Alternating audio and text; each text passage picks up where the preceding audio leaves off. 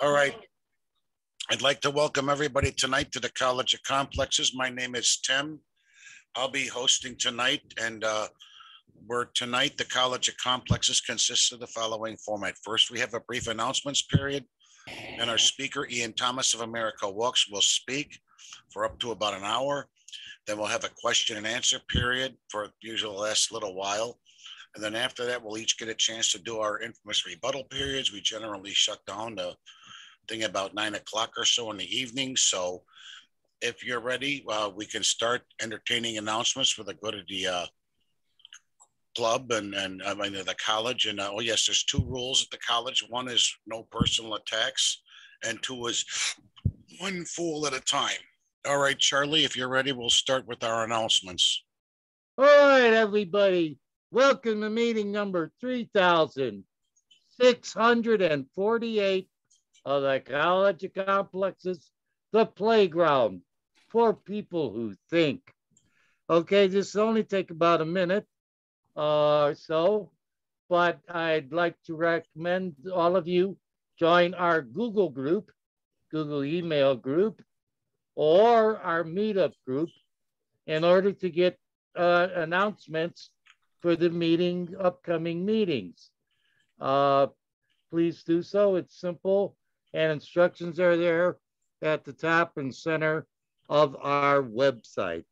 Okay, uh, also before I forget, the um, we have three open dates and these are in April, April 2nd, 16th, and 23rd. And we're scheduling uh, a special Earth Day series of speakers. So if you were looking uh, primarily to get ecological environmental topics during the month. We're not restricted to that, but that's our focus. So three open dates uh, uh, if you'd like to speak or can recommend an organization we should invite. Okay, although I'm not a capitalist, I will give an advertisement for our upcoming programs. Next week on January 15th, the Libertarian Party will be returning. Uh, their secretary, State Secretary Justin Tucker, taking an amusing approach, uh, trying to convince us to become libertarians and not like government.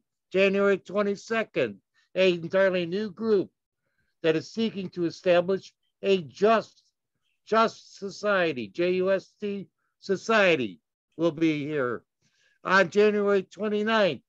An interesting program. The farm workers, tomato pickers, have a bilingual program. Uh, should be a very good program on labor issues. On February the 5th, we will learn what is wrong with the Democratic Party. We could be here all night with that one. Yeah, they got to stop stealing elections, maybe. February 5th, though, should be a good one. Uh, February 12th, the Illinois Green Party, which I am affiliated, will be speaking on how to do your own referendums uh, and ballot issues, uh, citizens initiatives, uh, such as walkability of your neighborhood. You could put it on the ballot. Um, on February the 12th, we're going to be talking about foreign affairs and the United States war on Venezuela. It's been in the news quite a bit, and the topic of the country's been a topic of significant destruction. On March the 5th, our own Dan Weinberg. Forgot the 26th, Charlie. Oh, uh, February 26th, thank you. Uh, we're going to look at the topic of high tech driving. Um, these are autonomous vehicles running around your neighborhood, buses, and take the, your autonomous vehicle to work, program it. Okay, that's February out of the way. March 5th again, Dan Weinberg will be covering various food and water issues. He's got some concerns that there's limitations on each and what we can do to preclude shortages from happening. On March the 12th, again, we're going to cover foreign affairs. This time, It's going to be on the war on Nicaragua, Los Sandinistas. Los Sandinistas. Okay, that's on February 26th.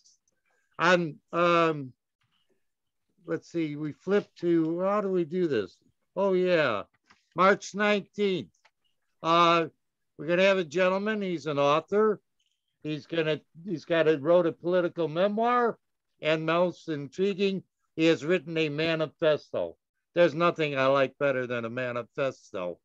On March 26th, Jian Lee, who's spoken before, very good talks, will be talking about the yin yang dynamism that's operative in the world and your worldview, which might need adjusting. On uh, on March, whoops, where, where am I at? March or April the 9th. I got a little mixed up here. Uh, no, we're going to April then. On April the 9th uh, will be the One Earth Collective.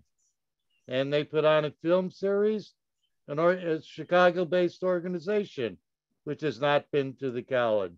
So join us if you believe that there is one Earth that we need to care for. And finally, on April the 30th, yours truly will be discussing the proof. I have proof that there is a primitive species living in the forests of the United States.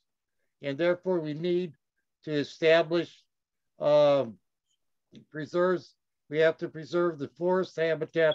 A lot on the uh, lumber industry will be there. And one last thing, I put an email out to some of you. I was thinking of sponsoring one a movie that anybody could watch free on their own at any time during a month. So we would have a monthly movie. I don't know if we'd ever have a discussion group, but uh, contact me if you're interested. It's simply that the college would have one movie a month that we would recommend uh, from the many that are out there that are free and online and something you could either schedule, maybe it's scheduled to be viewed or uh, viewable on all time. We have a YouTube page and we could post these. Uh, so you could, that's what I was thinking. But if you'd like to get involved in this little project, um, sometimes we have speakers who want to show a movie and I say we simply don't have time for it. And this will fill that niche, so to speak. So we would have a permanent collection of, of movies. Okay, that's it. Thank you very much. Take it away, Tim. All right. Um, our speaker is uh is if Ian Thomas is ready to go, go ahead and introduce yourself and uh take whatever time you need to do and speak. And uh, if you got a PowerPoint, go ahead and share it now. And I ask everybody again to mute during the presentation part of it. And we'll at the, at the some point during the uh, presentation, when we get into our Q and A, you'll be able to read, um, do it. But let's give our speaker our time and uh, Ian, please take it away. Yeah, thanks so much, Tim, Charles, everybody. It's great pleasure to uh, to to meet with you this evening and uh, talk about America Walks and our vision of a walkable America. Um, I do want to just say I had assumed this was going to be about a one hour session, um, and I can stay a little bit after seven o'clock uh, if there are still questions at that point, but I'm not going to be able to stay much later than about 7.15, uh, just FYI. Um, so we had a good discussion before the formal uh, into what a walkable community was. Um, Michael mentioned 20 minute neighborhoods, this concept of having most of your usual uh, destinations and services and needs within a 20 minute walk.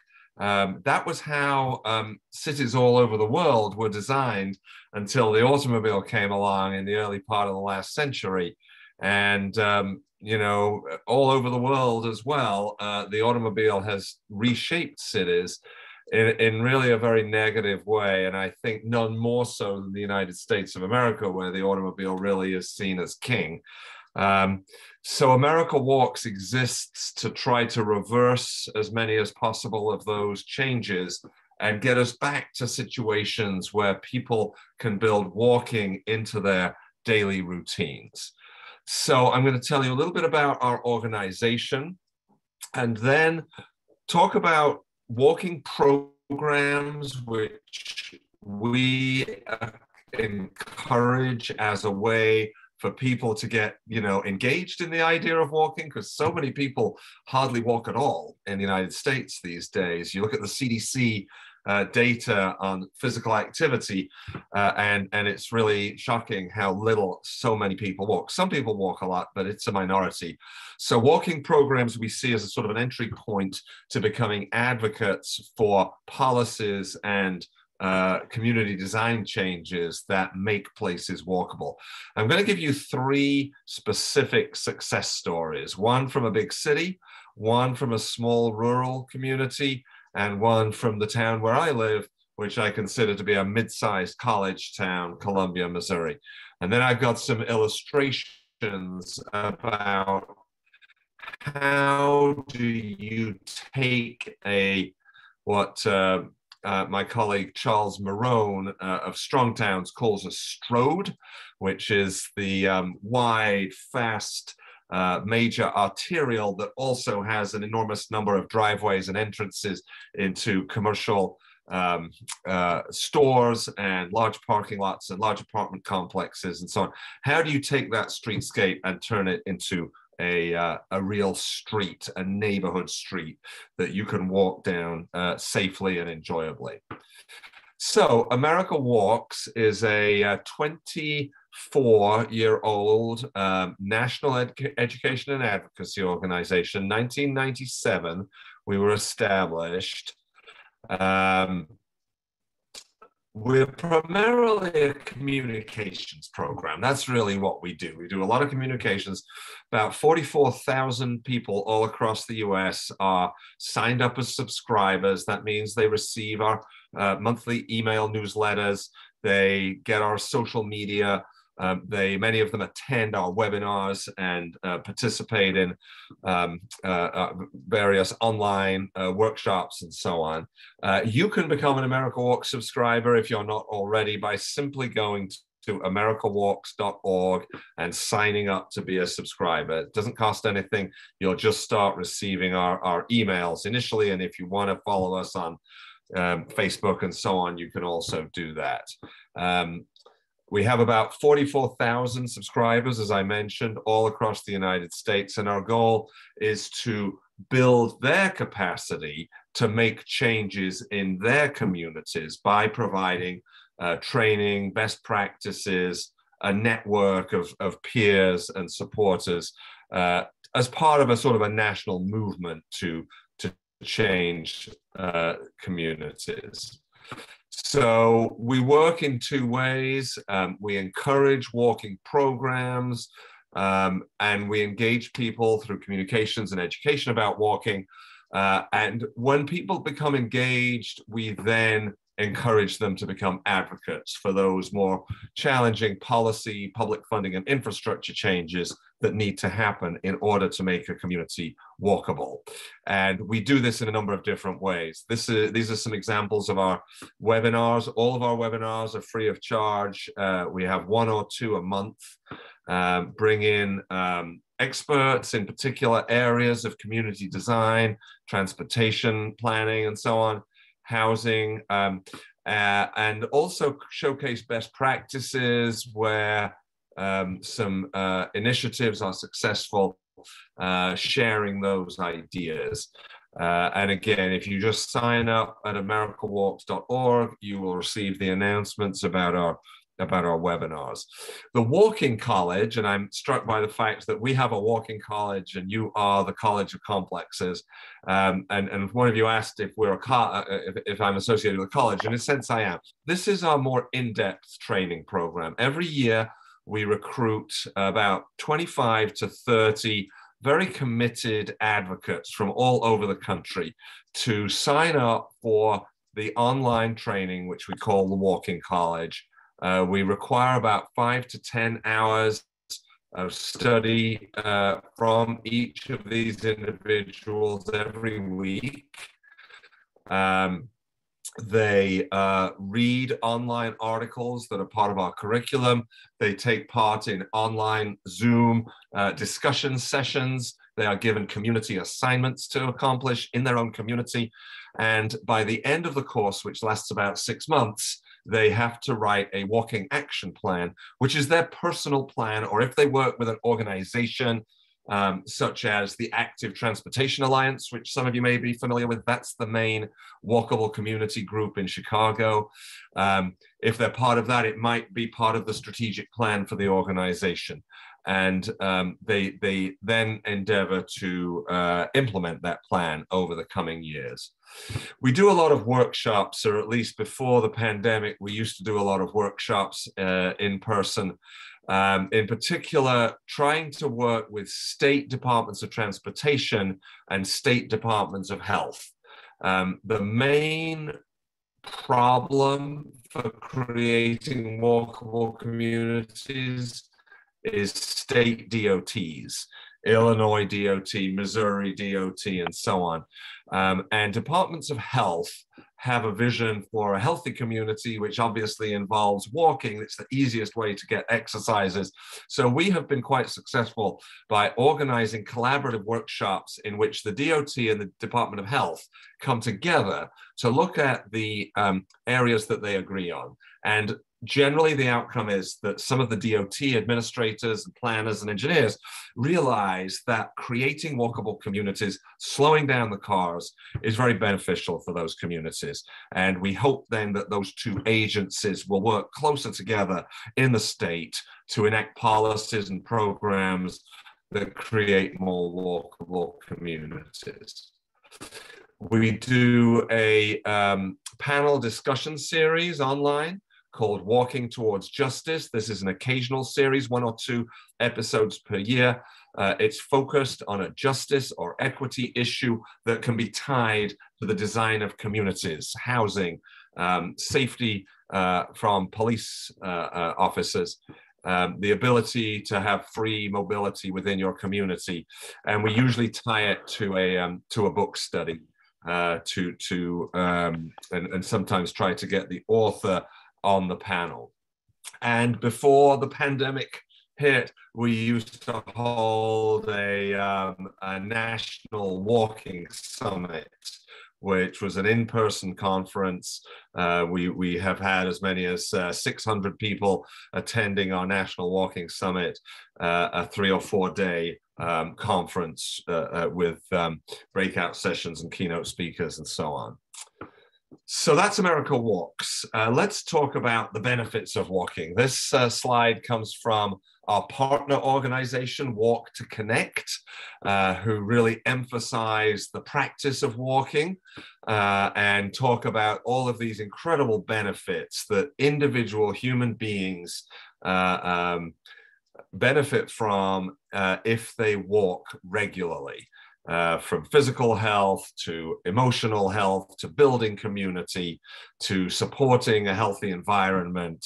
So um, we want to start with the benefits of walking, uh, and I know you all understand that because I heard it. Everybody understands that. Almost everybody you talk to realizes it's good to walk, it's enjoyable to walk, it's healthy to walk, and everybody says, "Gosh, I wish I walked more."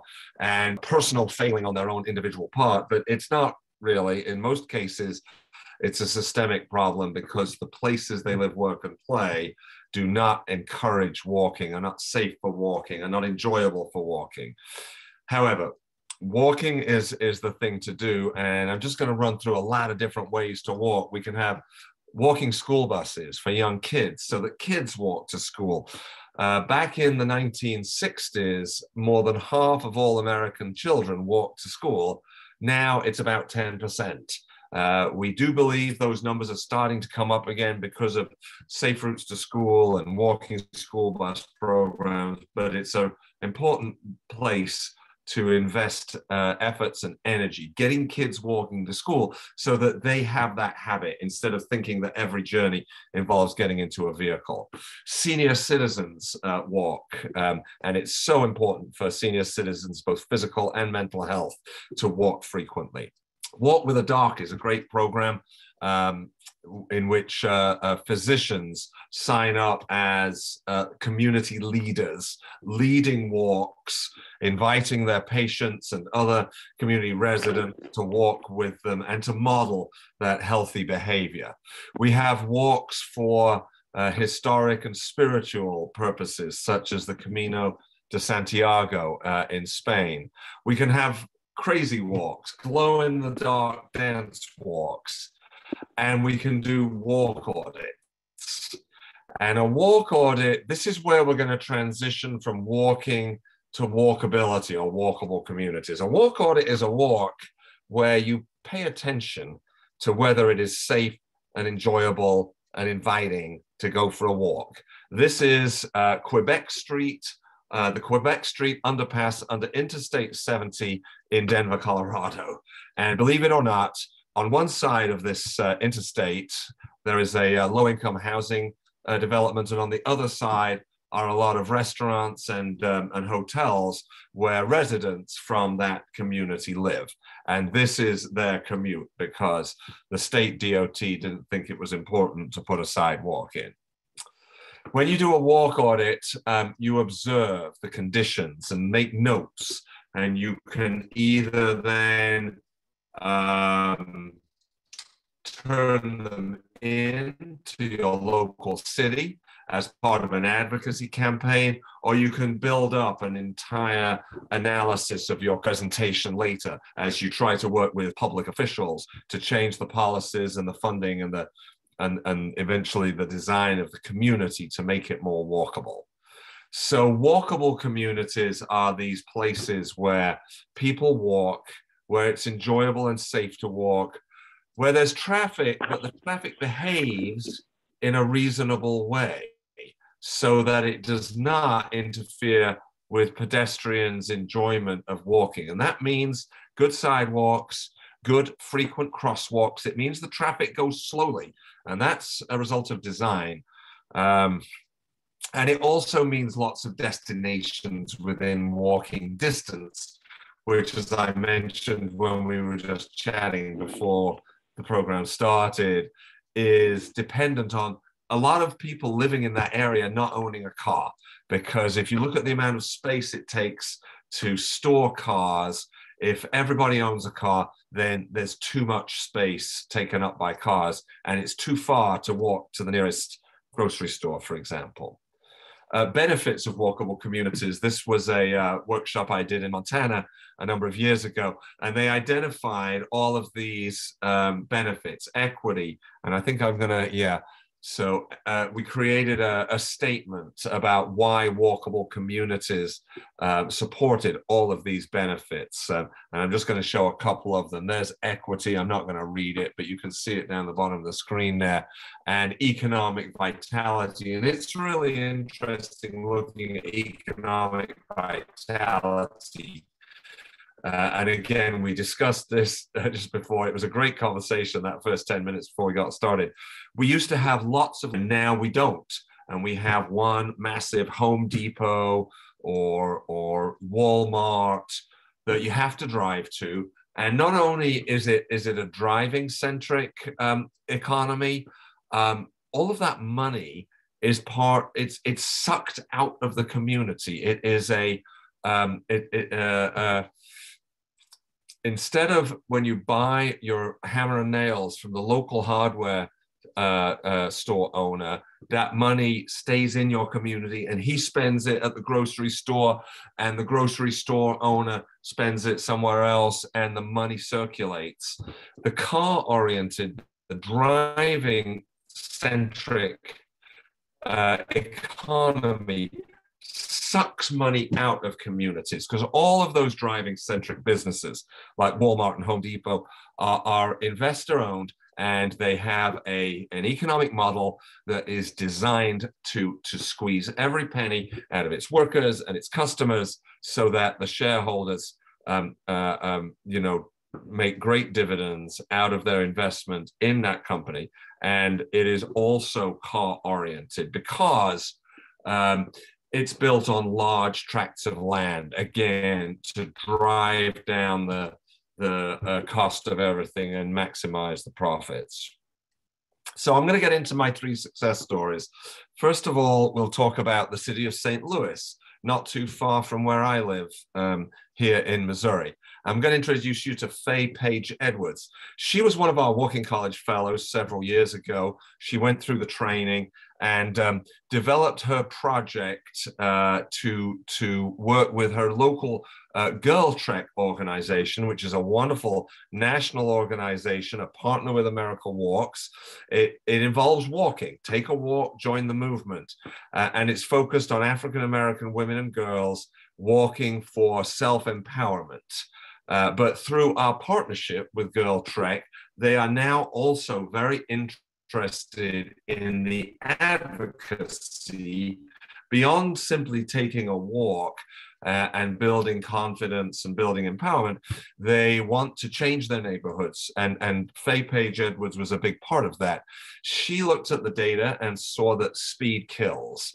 And uh, when vehicles are traveling at about 20 miles an hour, um, and they hit a pedestrian, then the likelihood that'll be a fatal collision is very small. Once you get up to 30, it's almost 50%, and you can see the other numbers there. We need to keep vehicles down to 20 miles an hour in neighborhoods so that if there is an accident, then it's not a fatal accident.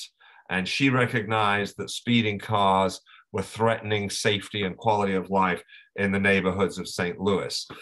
When she tried to get some traffic calming installed, she learned that there was a law on the books in the city of St. Louis that no uh, objects shall be placed within the public road right of way that would slow down traffic. This was going back to about the 70s when that was the thing. And um, fortunately, public opinion has changed, and she worked very hard for a couple of years to get the St. Louis City Council to reverse that law, to pass a new law that said traffic calmings are not only allowed, but they're important, and to start a program uh, of traffic calming within the neighborhoods, which involved a lot of community engagement.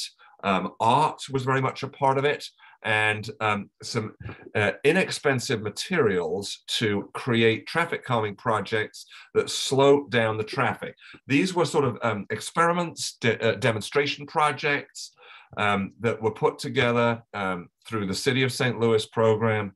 Um, but the idea was if they were successful and if people liked them, then they would become permanent. Um, they did the uh, uh, analysis they slowed the speed down. You can see there from over 30 miles an hour to uh, almost down to 15 miles an hour. Uh, they measured how many vehicles came to a complete stop at stop signs when there was these additional uh, structures, uh, making it easier for pedestrians to cross the road. And in areas where they were successful, which was really all of them, um, they went ahead and installed permanent traffic calming, something that was not allowed beforehand. So that's our story from a big city. Now, what about a small rural town? I'm going to go down to uh, Batesville, Arkansas, and tell the story there, which has three main takeaways. Um, we discussed the impact of automobiles and sprawl on, on local businesses. And so, one of the takeaways from this uh, story, set in a small rural town, is that automobile oriented sprawl and high vehicle speeds have caused the decline of rural main streets. Secondly, that s- small town mayors can be very effective champions for Main Street revitalization. And thirdly, that walkability improvements in rural downtown districts can catalyze economic development. So this is Batesville, Arkansas, town of about 10,000, 10 square miles. It is um, the oldest living city in the state of Arkansas. It's actually the second city that was established in, uh, in the 1810s. Uh, but the first one went out of existence at some point since. So Batesville is the oldest living city. And the first time I visited Batesville, which was in 2014, this is what Main Street looked like. Um, wide uh, travel lanes uh, with a lot of speeding cars going through and a lot of empty uh, retail buildings. Uh, kind of a dead downtown. It's the county seat, so it has, uh, but basically, uh, the only businesses downtown uh, service those uh, workers, those day workers, lunch, um, you know, uh, um, lunch cafeterias and so on. Um, and after about five o'clock, the whole place shuts down and it's absolutely dead. Um, in 2007, this guy was elected mayor, Rick Elumbaugh. He was previously a, um, a, physical education teacher in the school district, and he was very distressed by the fact that this small town was dying, that the young people that he coached uh, in the school district, they went away to college, they went away to get jobs in other cities, and they found things like vibrant downtowns, trail systems, lots of amenities, and they had no interest in coming back to Batesville. And he could see, he looked at the data, the average age of the town was going up, and young people were not moving there, and young people were leaving and not coming back. So he's still the mayor of Batesville now. He's been in that role for 15 years, and uh, he's made it his mission to make Batesville a kind of place that young people like. Uh, and um, big part of that was revitalizing downtown. The other character was uh, Bob Carius. Uh, he was the president of the um, Main Street Batesville organization, which is uh, um, a sort of an economic development organization. It's part of a national network, Main Street America, uh, focused on revitalizing the business district uh, of, of typically small towns. And he was a retired uh, Navy admiral uh, and um, uh, kind of marshaled uh, the amazing transformation that happened there. So the first thing that um, that Mayor Elumbaugh and Bob Carius did was bringing this chap in the yellow hat and the green jacket. His name is Dan Burden. He is sometimes considered the uh, grandfather of the walking movement. Uh, he's been doing this work, visiting cities and towns and helping them become more walkable uh, since the 1980s. And I had the, the privilege of working with him on this project. And we went down there on a very cold, uh, few days in February 2014. We did walk audits. We met with the community business leaders. We met with residents. We met with the schools and the hospitals. And we did several workshops and came up with some ideas for how to uh, improve walkability in Batesville. And a lot of these ideas have been done in other cities and Dan and I made presentations giving examples of those, but everything was bounced off the local residents and community leaders. And the plan that we ended up with was very much focused on what they were excited about. And we organized the plan into these different categories what we want them to do in the first 100 days, what are the low hanging fruit that will move their transformation forward over the next maybe six to 12 months, and then some more mid midterm and long term uh, projects that they sh- that will take many years of planning and, and implementation. Um, the plan was given to them, and um, we also gave them a graphic. So this picture was taken back in 2014 on Main Street in Batesville, uh, as it was at that time. Based on the ideas that they gave us and the plan, uh, we had a graphic designer create this picture of what this streetscape could look like if it was uh, if it was redesigned. And um, this is the same location with just some simple additions, some landscaping, some textured pavement. We've narrowed the driving lanes and we've put people into this graphic. And in fact, I'm going to go back and forth. If you look at the car right in the middle of the picture there with the headlights on, you can see that car is in both in both pictures. So this is the kind of transformation that we encouraged the Batesville uh, leaders to implement, to raise money for, to build public support for. It's not a lot of money. Uh, it really, it, it, the whole transformation of five blocks, I think, ended up costing, um, and um, it, it, did transform the city. They got working on it right away. They built support, they raised money, they wrote for grants, and they started rebuilding and they reconfigured. So these are actual photographs. What I showed you before was a graphic, but these are actual photographs um, as they put lots of these landscaping planters in. They put lots of paint down, pedestrian crossings and stop bars and arrows. They put those parking spaces along the side of the street. So it narrowed the lanes down. Um, they did those five uh, blocks. Um, they they built in the landscaping. They got grants to improve the building facades and the sidewalks. The People's Block was uh, one of the five blocks was entirely fundraised from the community. And that was, I think, something like $80,000 were raised from this town of 10,000 to, to pay for all the changes on that one block. They took vacant lots and existing public spaces and improved them, made them attractive recreational spaces or commercial spaces. This is a farmer's market here on the left. And there's a, um, a park that they improved uh, just behind Main Street where there's a beautiful creek that flows around.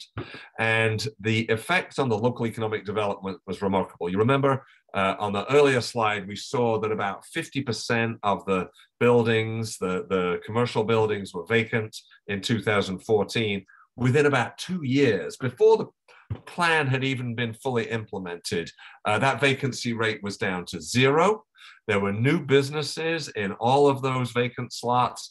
There were new buildings being constructed, and there was new residential construction going on with some of the upstairs spaces above the main street shops being um, being converted into apartments because developers knew that people wanted to live downtown now. They wanted to be downtown because the traffic calming and the streetscape improvements had made it uh, a place to be. And of course, property values and local taxes went up, and the um, uh, um, and, and helped sort of uh, finance those changes. This is the oldest building in Batesville, uh, built in 1903, and it had stood empty for decades uh, because everything had moved out of downtown. Um, as part of this kind of revitalization, which happened from 2014 to about 2018, the county library, which had previously been downtown and moved out to the edge, decided to move back downtown because now this was the place to be.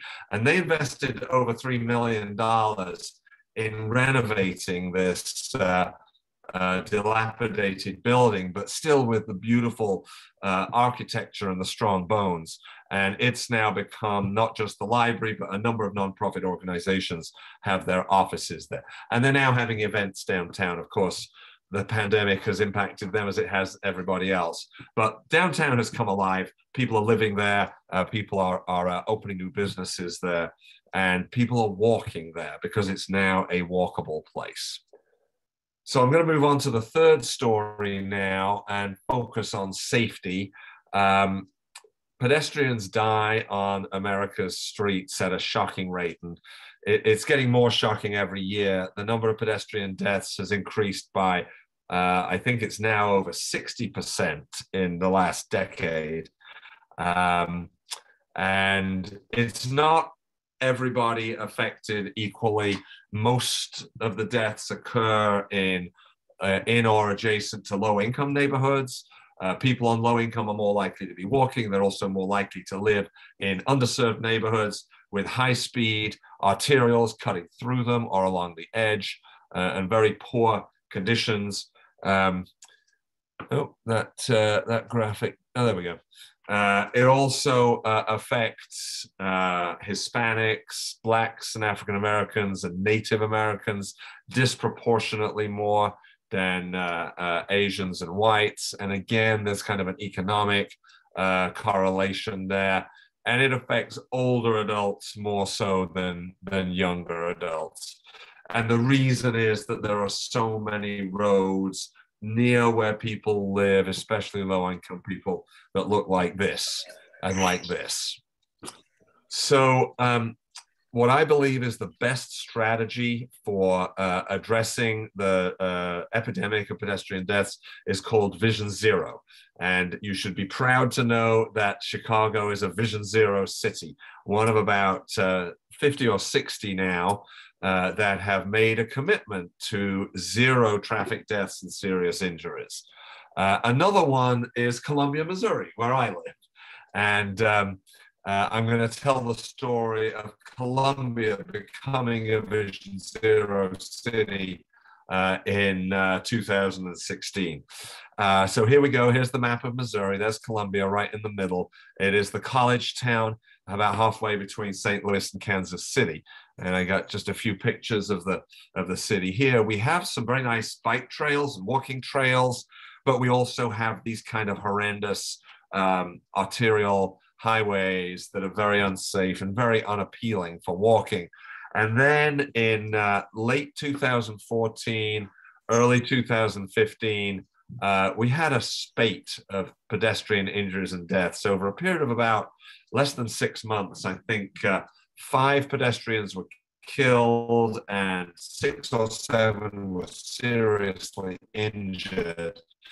There were three pedestrian uh, crashes on one day in January 2015. So um, we set up a task force council in Columbia, Missouri, and I bugged the mayor to do something about this. He said, okay, let's have a task force.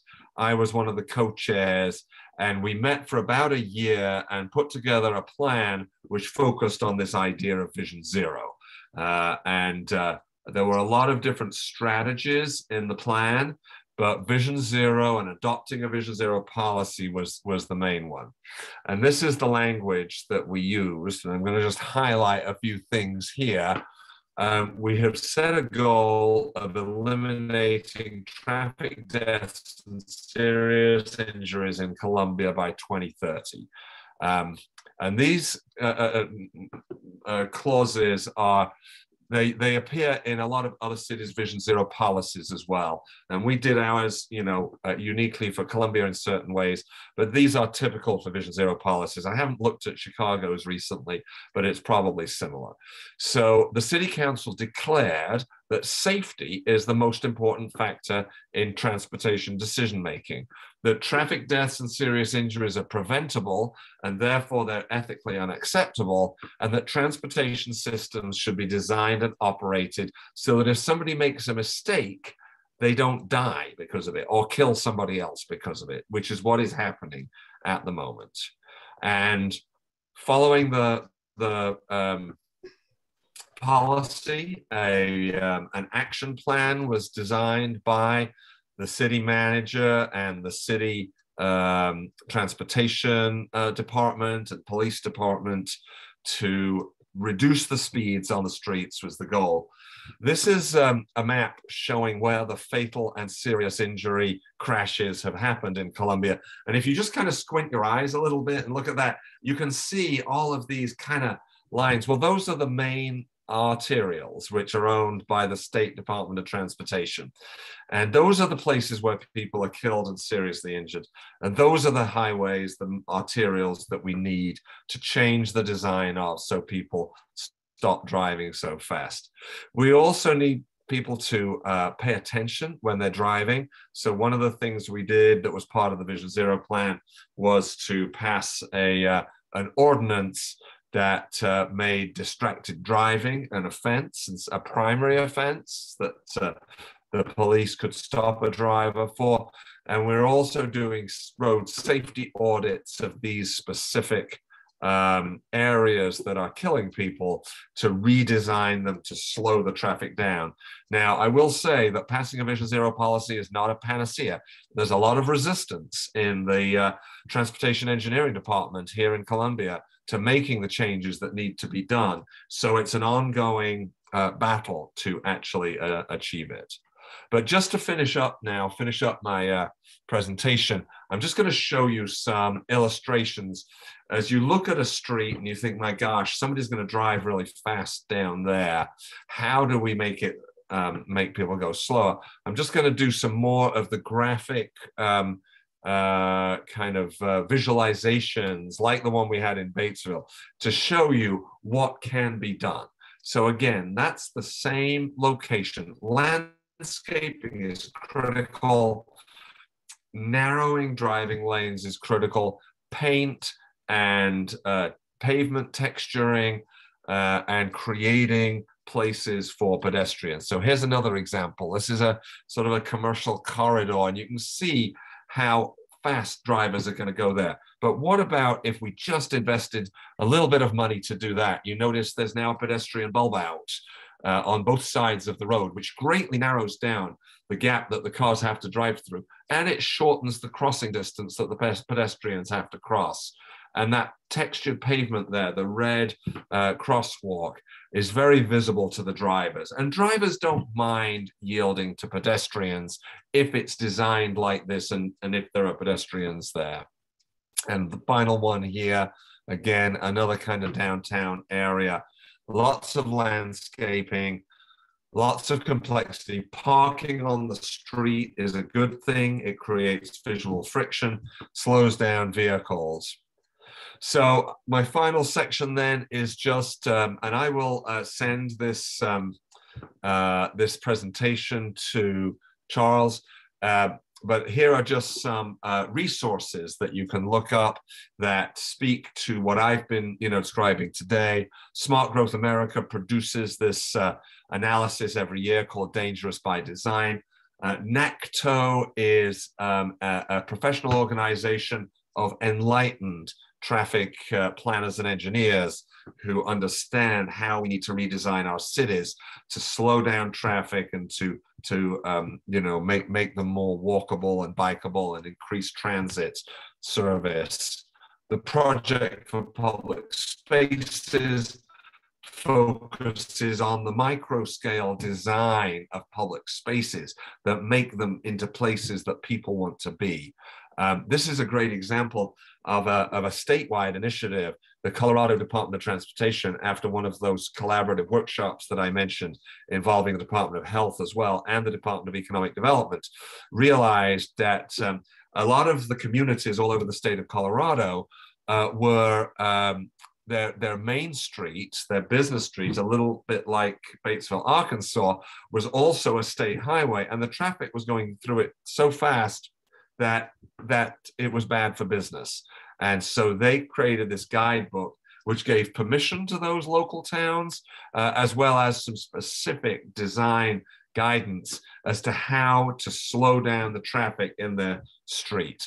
A lot of state DOTs, they won't allow the town mayor, the town planning department to make any changes to the state highway that goes through the town. And and Colorado is one of the most enlightened um, state DOTs. AARP is a wonderful partner. They support quality of life for older adults in America, and they see walkable, livable communities as part of that. This is a, a toolkit of how to do those kind of pop-up projects. Um, so I think maybe this is my, I've got a couple more slides.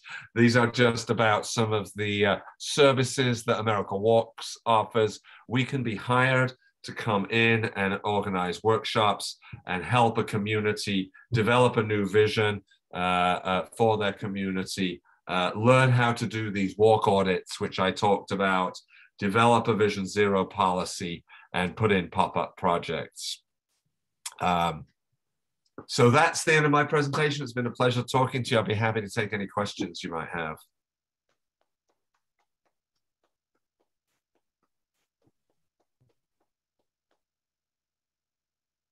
Start our, uh, I'm sorry, let me get question. this. I have a question. Go ahead, uh, Dan. Go ahead, Lana. We'll start our Okay. question Thank you, Let's, thank you, thank you so much for let's your. first thank our speaker again tonight for. Okay, good can you job. hear me? Yes, we can hear you. Okay, hold on, I will make a little bit louder. Okay, um, uh, Mr. Zoma, thank you so much for your speech. Very educational and I learned so much. because, like I said, I come from different parts of the earth.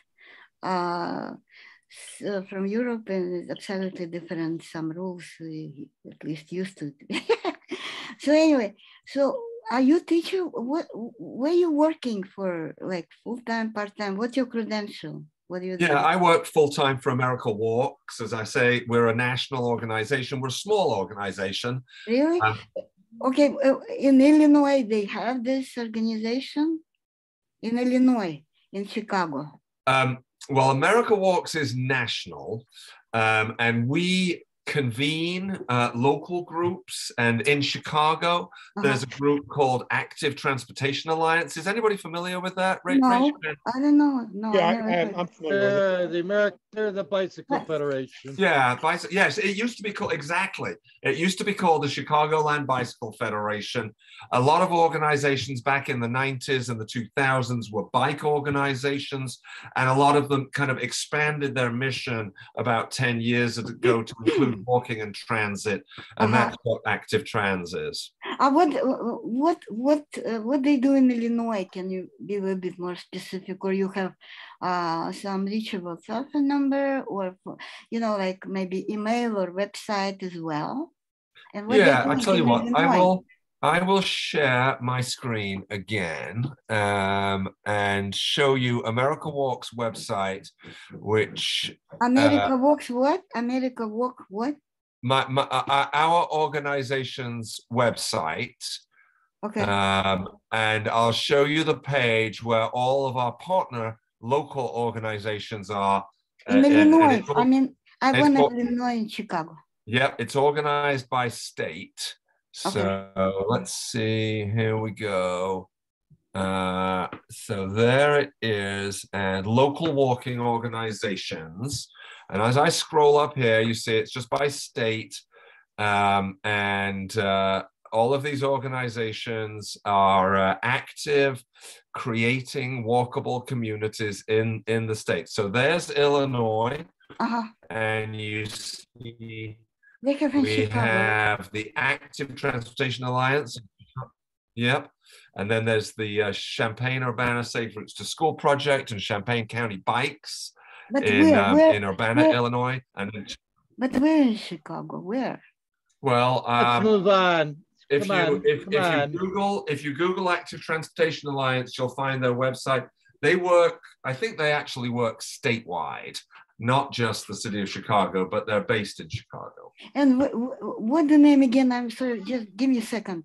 What uh, again? What the name of the organization? Active Walking America, Transportation Walking America, Walking. Uh, well, my my organization Walks. is my organization is America Walks, and the one in Chicago is Active Transportation Alliance. Active Transportation Alliance. Okay. Mhm.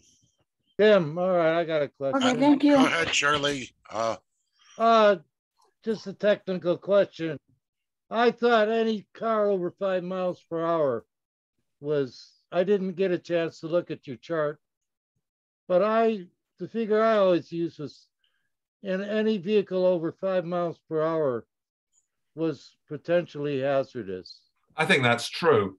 I mean, if, if you think about a very fragile individual like a like a very small child or a very you know old frail person, um, I think being hit at five miles an hour can be fatal.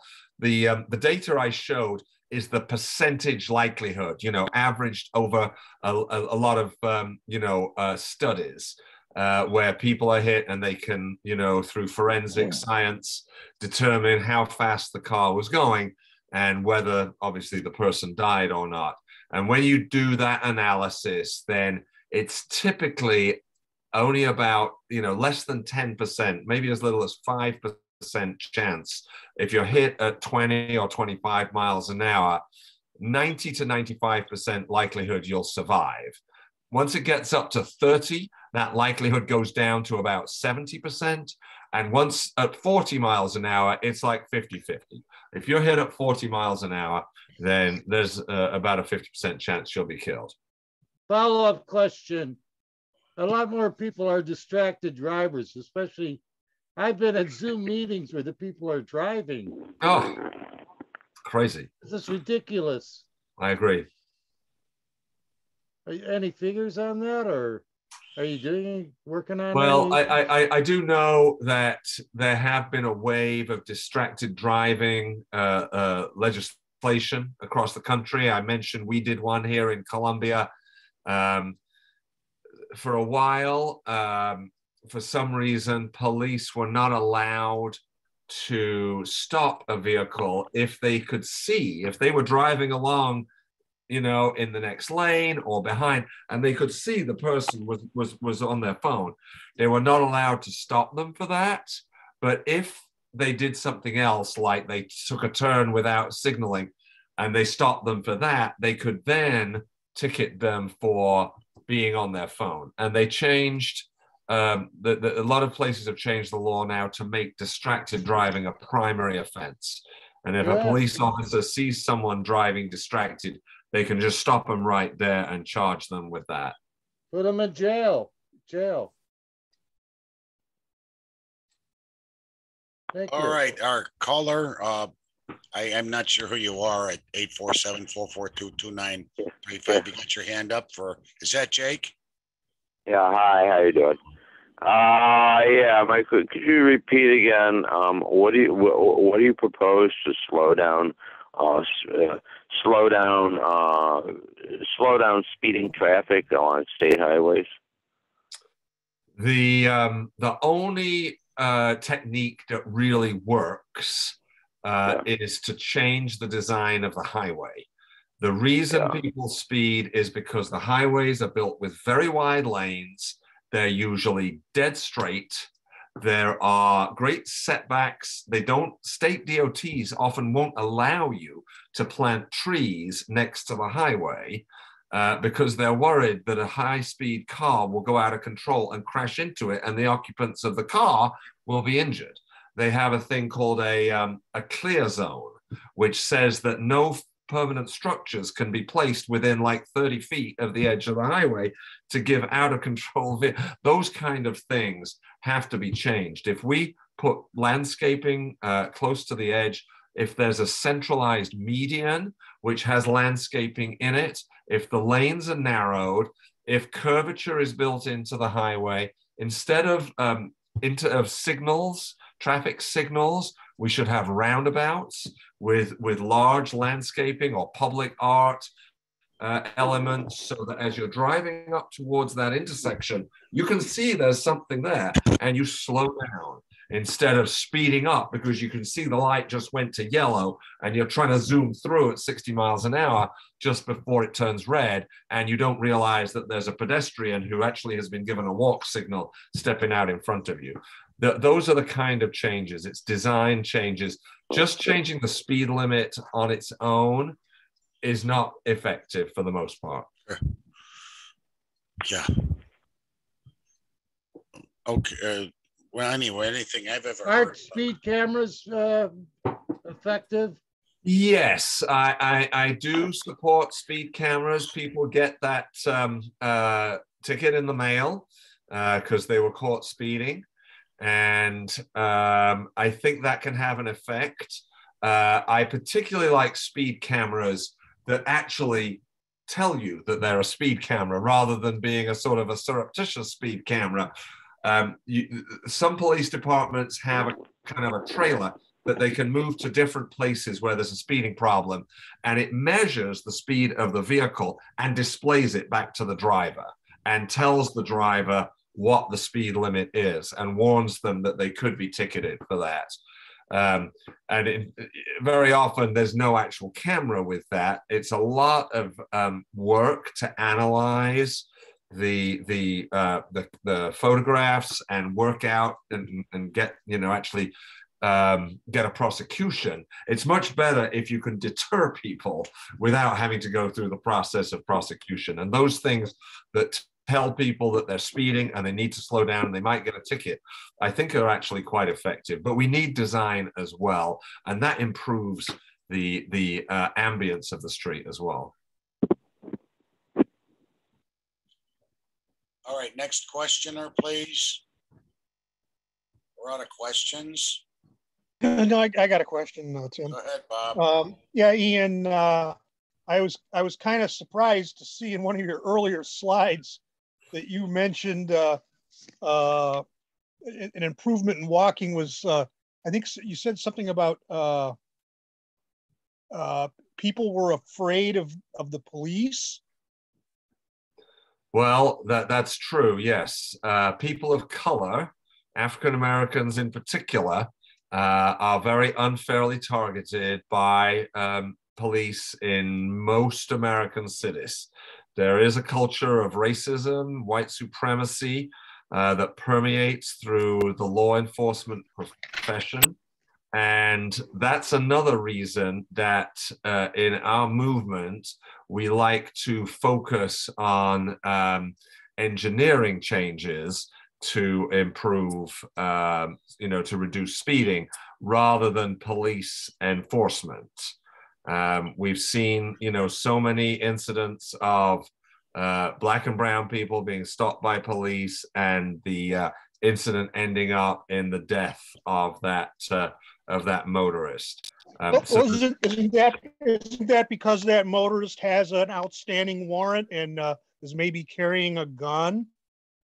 Well, uh, it can be, uh, but when you dig into it, as I have, the entire criminal justice system is very biased against poor people, and many more black and brown people are poor people uh, than than the general population. Uh, people have an outstanding warrant because uh, they they couldn't afford to pay the fine that they got the last time because they hadn't renewed their car license because they couldn't afford to do that either. Um, poor people absolutely struggle day to day. And what a lot of traffic enforcement turns into is extreme punishment for being poor. Yes. Well, don't you know? Perhaps uh, they shouldn't be driving. I mean, uh, you know, in in uh, in uh, Illinois, eleven point eight percent of the uh, drivers were uninsured in uh, 2019. Now that's that's an average of Illinois. I happen to I happen to have worked at a law. I work at a law firm in Chicago, Freeman Kevenides, and we pretty much uh, concentrate in bicycle and pedestrian and vul- vulnerable road users as our client base. And uh, we see a lot of unin- uninsured drivers uh, hitting bicyclists and pedestrians. Uh, we would probably guess more like 20% in, in Chicago. Mm, Yeah. Um, well, so I um, mean, if people if people paid if you know if people can't afford to pay for insurance, uh, you know, I mean, maybe that's why there's so many cars on the road. Driving is too cheap.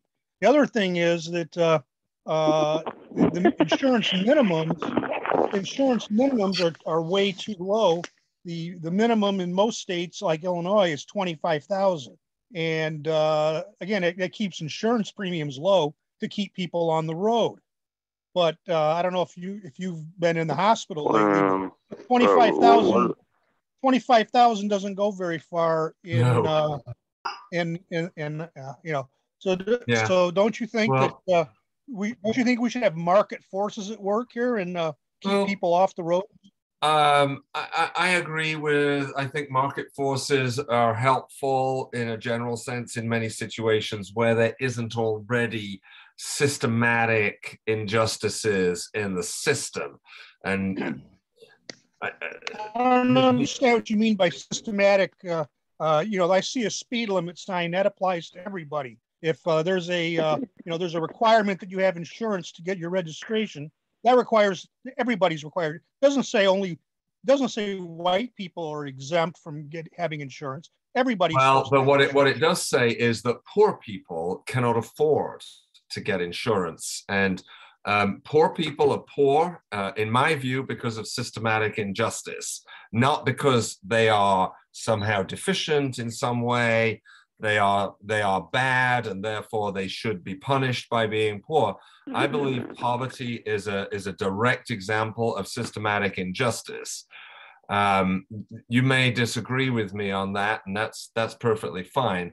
What I think you would agree with me on is that the way that America's cities and towns have developed in the last uh, 80, 80 to 100 years has made driving almost essential, especially if you are, you know, relatively uneducated, if you're working a low income job, um, you, you, you um, have to have a car to get to work because public transport has been greatly uh, reduced in service and quality in all American cities. We had the spectacle, you know, back in the middle of the last century of all the streetcar lines being ripped up.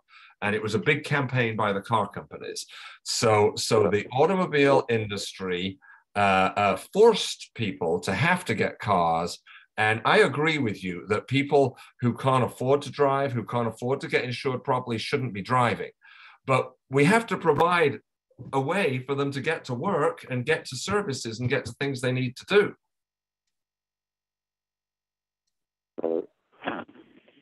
Right. Just uh, can I have a follow up question to Bob here? Yeah, go ahead. My my my question is if if insurance if if if auto insurance rates are too low, what does it translate into when somebody has an accident? A lot of time. You, I'm not certain. I'm not certain if I follow your question, Jake.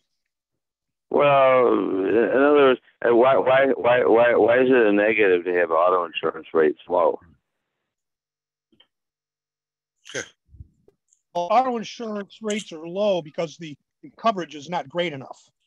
They're drive people are driving around with twenty five thousand dollar minimum policies, and when you you yeah. hit somebody, you know, you hit somebody, uh, you hit a pedestrian or a bicyclist, it's not so bad if you hit another car.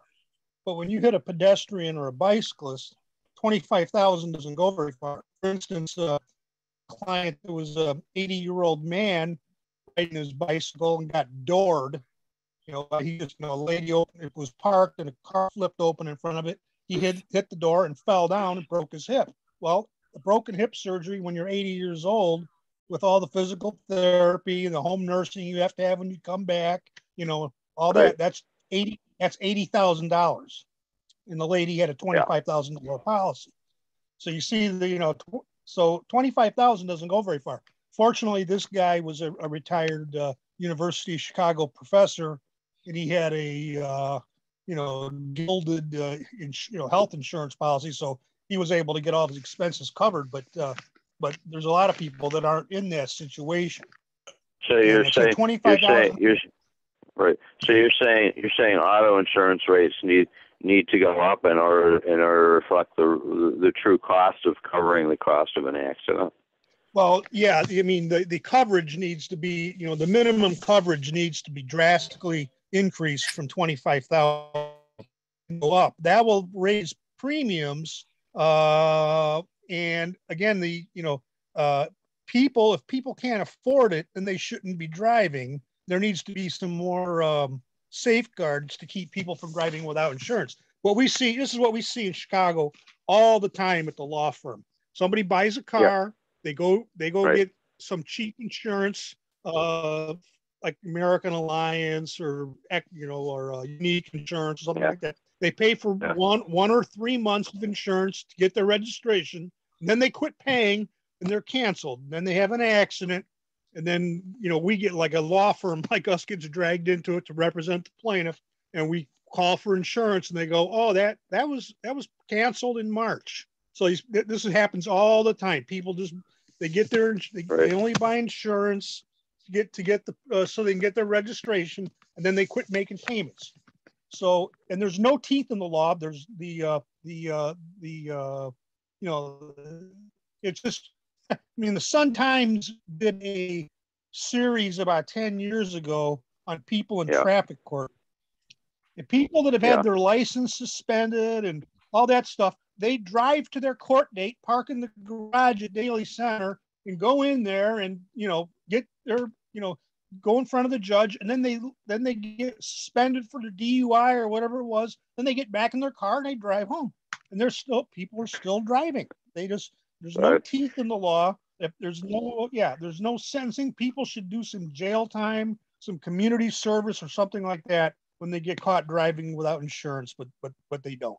Well, particularly a D, particularly as a DO, particularly as a DUI. Yeah, right. Okay, Right. let's move on to our next question. And Margaret's got her hand up. Yeah, I've got my hand up. When are you coming to Dallas, Ian? I agree with you about poor people, systemic injustice. And uh, here in Texas, of course, somebody who does not have papers cannot get a driver's license. I mean, this is just, it just reverberates. So they don't get a driver's license. Uh, they probably, they probably don't, they might not carry insurance. Who knows? But it's complex. But my question is, when are you coming here? I live on Turtle Creek Boulevard in Dallas. It's uh, uh, loaded with high rises. I'm in the least expensive. We ha- just for an example, we have had a woman mowed down. She was walking at 10 o'clock in the morning. Somebody lost control. We have asked for speed bumps. We're across from a beautiful creek with tur- uh, with beautiful ducks. Some of those ducks have been slaughtered by these drivers. My understanding here is that they cannot put speed bumps in because this is a street that the first responders have to use. And it's a 30 mile zone and it, it uh, loops around a little bit. And in the middle of the night, some drunk went over the railing and killed himself because he was, you know, speeding, no doubt. Didn't wasn't even awake. So when are you coming to Dallas, Ian, to talk to our city council? We're needed everywhere. That's all I have to say. And the presentation is fabulous. Thank you, Margaret. I, I'd be happy to come and, and do what I can. I just quickly went on the America Walks website to, to uh, see what organizations are in Dallas. I'll share my screen. Um, so there is one organization that's part of America Walks, um, uh, kind of national network in Dallas called A New Dallas. And I'm just looking at this for the first time. Says Highway 345 is falling apart. We think it should be torn down. Here's why. And this is an example of quite a movement across the country, which I think is very positive. A lot of highways were built. Sometimes they were elevated highways, sometimes they were in trenches, sometimes they were on the surface. They very often went right through poor neighborhoods and black neighborhoods, and sometimes it was intentional uh, and and created divisions in the town. Uh, and Highway 345 is, is undoubtedly an example of that. The um, Biden administration uh, in the in the um, uh, bipartisan infrastructure bill that was just passed a couple of months ago has a new program specifically to fund the dismantling of, of highways that have destroyed neighborhoods and destroyed uh, cultures uh, and invest in public transportation instead uh, to replace the need for that highway. So I think that's a very positive opportunity. And, and I would suggest you look up this uh, a New Dallas organization and get connected with them and see how you can be part of what they're trying to do. I'm somewhat aware of it. I'm going to pass this along to Lee Bass, who's been working on it. I'm also going to send her Charlie's cloud connection. This is just very, very helpful. All right, who's, okay, Charlie, uh, Charlie, go ahead and ask another question. Anybody else? Uh, not that I'm seeing right now. Um, And, and I'm going to uh, have to probably jump off after this one, Charlie. So go ahead. Okay, uh. Oh wait, wait a minute. Bob's got. I'll I'll I'll, I'll take Bob's one last. all Go right, ahead. Go Charlie. ahead, Bob. all right, Bob, go ahead. Uh, Oh, okay. Yeah, um, uh, Ian, I was also, uh, speaking about crime and everything, uh, noticed, uh, in the- you know, in my own, uh, experience as well, I'm a, I'm an avid walker. Um, and one thing I love doing is going on photo walks. I'm also Uh-huh.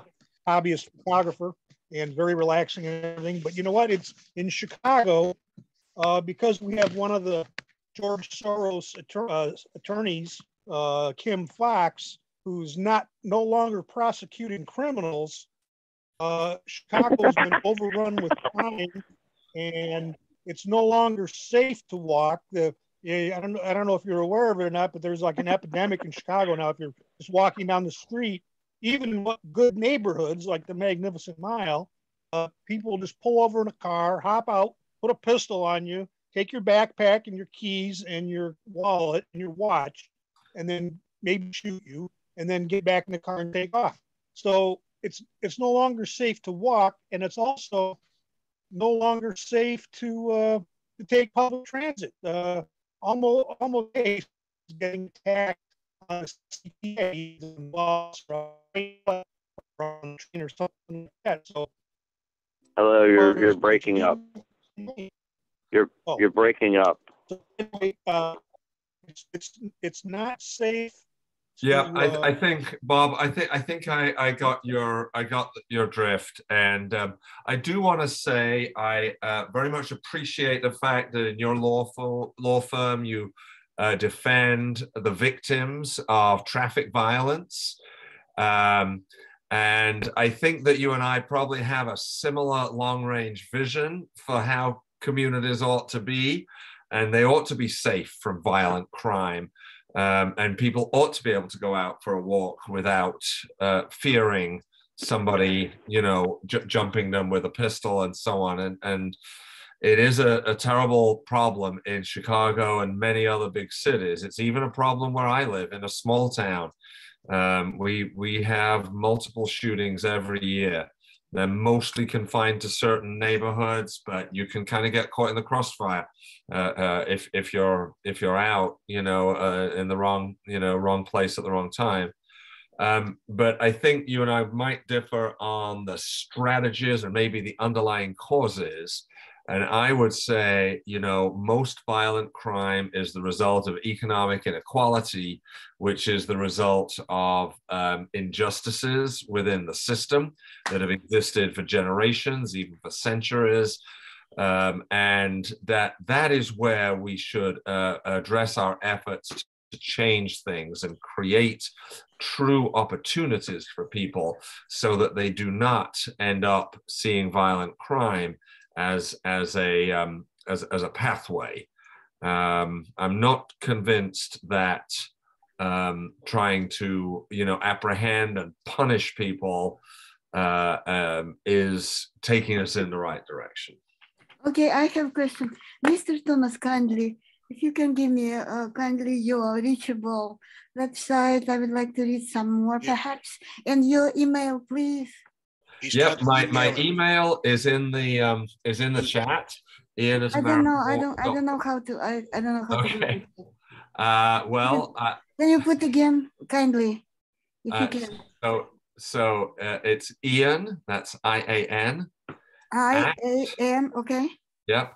At America Walks, just the way it sounds. Just Oh, run you those two like- words together. America Walks. You mean like- org. Uh, you know, I don't know.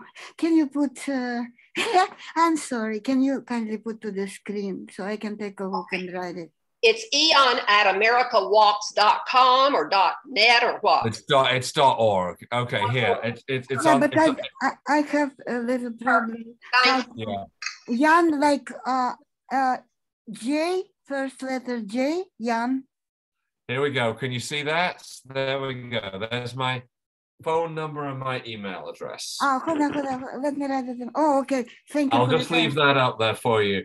Uh, Okay, now, wait, wait, Charlie, wait, let did, me did you have one more question before I jump off? No, uh, No. I just want, I, just, Bob just, covered just it. I was, I was talking about safety at in the street. America. All uh, right, Eliana, please, Hold on, America. please be quiet. No, Uh, I just walk wanted to thank straight. our speaker, Dot org, Uh. Okay. Thank you. Eliana, please. Okay, okay, all right, okay. I'm Be listening. quiet. I'm listening. All right, I want to thank our speaker. My question concerned street safety and uh, things like gun control and stuff like that, but you kind of covered it. Anyhow, thank you very much for a very excellent presentation. And thank you for your work. I've been on your email group, I think, since the onset and inception. Oh, great. The organization. Good for you, Charlie. Yeah, great. Well, it's been a great pleasure to meet you all and um, uh, enjoy the rest of your of your Too bad, session. too bad Thanks you won't much. stick around for the rebuttals. It gets really interesting after a while. All right, if you gotta go, you gotta go. Well, Charlie, you did it again. Another speaker who wouldn't stay the entire time. Jeez. It How was did I do good it? uh, Tim and Charlie, it was wonderful because we've all got That's good. concerns. You know, if you walk at all, you've got concerns. Personally, I think the motor car was one of the best things that ever happened to America. And I mean, you know, if you, it helps movements of goods and it gets people out and about. I mean, even the. Oh, sure. Oh, sure, it made it made it sure it made it possible for Eisenhower to, to establish the uh, uh, federal highway program, right? And the other, the other thing too is that it helped knit America together. I mean, goods and services and businesses can transfer goods a lot faster and they can move commerce a lot easier and it's a lot easier to get around these days. I mean, they live thirty-five miles from work and I can get to Franklin Park in less than forty-five minutes usually. And see, that's what our poor or middle class, working class people have to have in Dallas. Housing is so expensive in the inner city. They have to be in Yeah, the and then drive. Well, you know, the only, um, well, I know that, but, uh, you know, finally it's, uh, getting things done. And, you know, the funny thing is, is I'm looking at America Walks website. And, uh, you know, I just want to, if you guys don't, oh, anyway, we'll get into the rebuttals in a little bit. Is there any more questions before we get into them real quick? Because I think we'll just go in straight into rebuttals now and I'll, I'll allow everybody about four or five minutes, depending on what they want to say. And, uh, who would like to do rebuttals tonight? Yeah, I'll why- say something. Uh, Go ahead. Go ahead, and then Margaret. Margaret, Margaret Aguilar, go ahead. Okay, um, I just wanted to say that, that what you say about public transportation is in fact, that's true. You, you, know, it's, it's certainly made our lives kind of easier in many ways, but uh, uh, it hasn't, it hasn't really, it, it's sort of delusionary and or illusionary in some sense. We still spend the same amount of time uh, whether because we do 50 miles an hour or whatever going to work, or in some cases 10 miles an hour going to work. Uh, so we spend the same amount of time than before when we worked in our neighborhoods and we walked to work. We so we spend a fair, uh, almost the same amount of time with. Um, I'm going to list all the negative stuff. We spend the same amount of time in transportation. We think it makes it easier and shorter and and, and more timely, but it does not for the most part. Um, second, of course, the pollution from in the atmosphere. And um, oh boy, no, I can't remember the. Th- oh, and the other thing is is because this is so prevalent and so it seems like it's so necessary for modern life. We're willing to sacrifice fifty thousand people a year, plus or minus, in traffic accident fatalities. And so, um, you know, so every year that many people die, and it people don't even think of it as a price that we pay for having private transportation like this.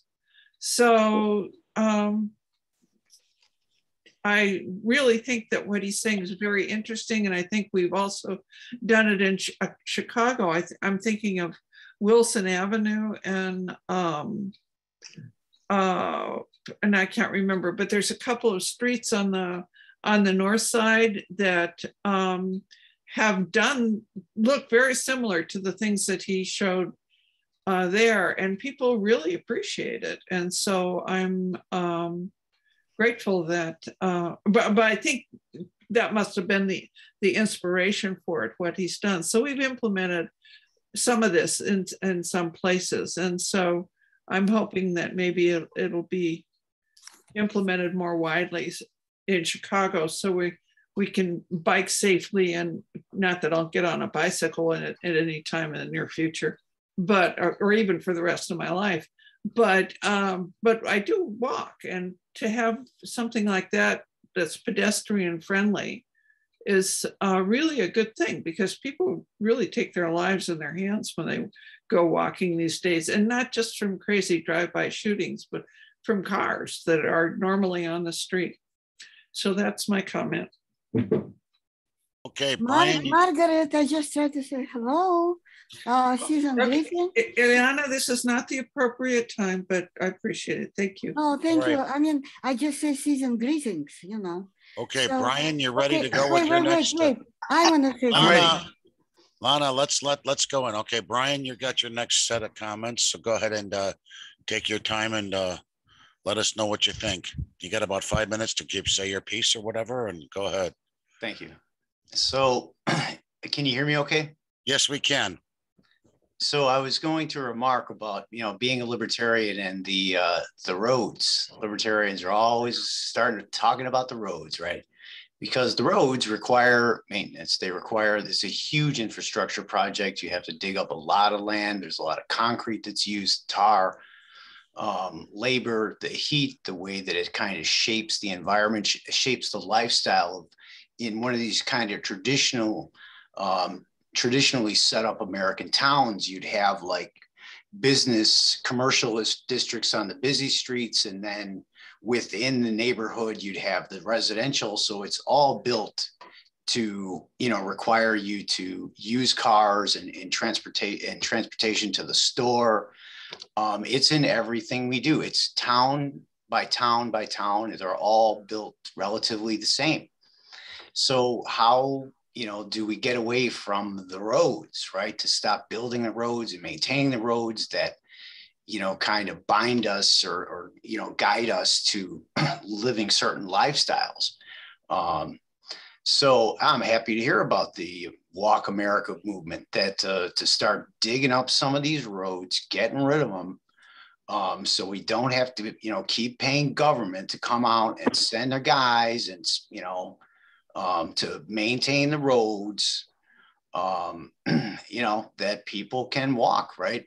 So the question then becomes how do we maintain whatever paths that people are now walking on, you know, gravel, sand, salt, um, all of those, you know, they have maintenance costs as well, you know, because if people want concrete sidewalks, well, you know, you kind of just you're just replacing the concrete of the roads with the concrete of the sidewalk, although the sidewalk will have a significantly longer life uh, than a road would. So I, am happy to hear it. It uh, you know start talking about walking and let's uh, dig up some of these roads uh, so that we don't have to keep spending our money to maintain them and we don't have to keep being guided towards this lifestyle of everybody must have a car in order to get to the store and so that's it. That's my comment. I just would like very quickly to add it. You know, it's very nice to take walk uh, for people who capable to walk. All right, Lana, I'm going to give you five minutes to go ahead no, and do your listen, rebuttal. I just need, I just need to give me just a couple seconds. So, but my point is, you know, roads, sidewalks, like maybe uh, aldermen or congressmen, they need to, you know, in our state, they need to pay more attention to road to with people walking because some of them cracked and some some of them uh, have not uh, you know comfortable way to walk. So they need to fix roads for walkable roads. How to say english? I hope i say right. Uh, for the sidewalks right? When people walking it's called sidewalks right?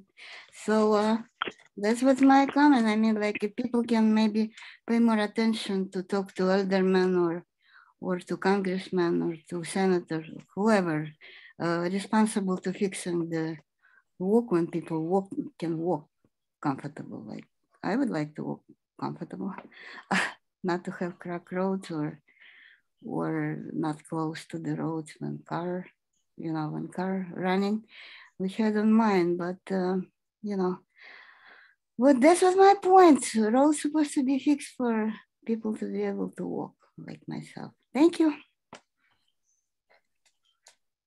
Okay, who's next on the rebuttals? All right. Um, um, go ahead. Go. go ahead, Charlie.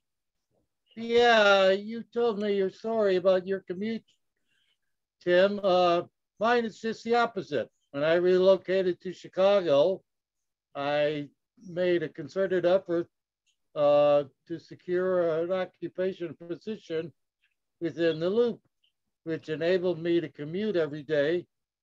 I had a, three different routes to choose from, and actually more depending on the closer I got to commuting to work.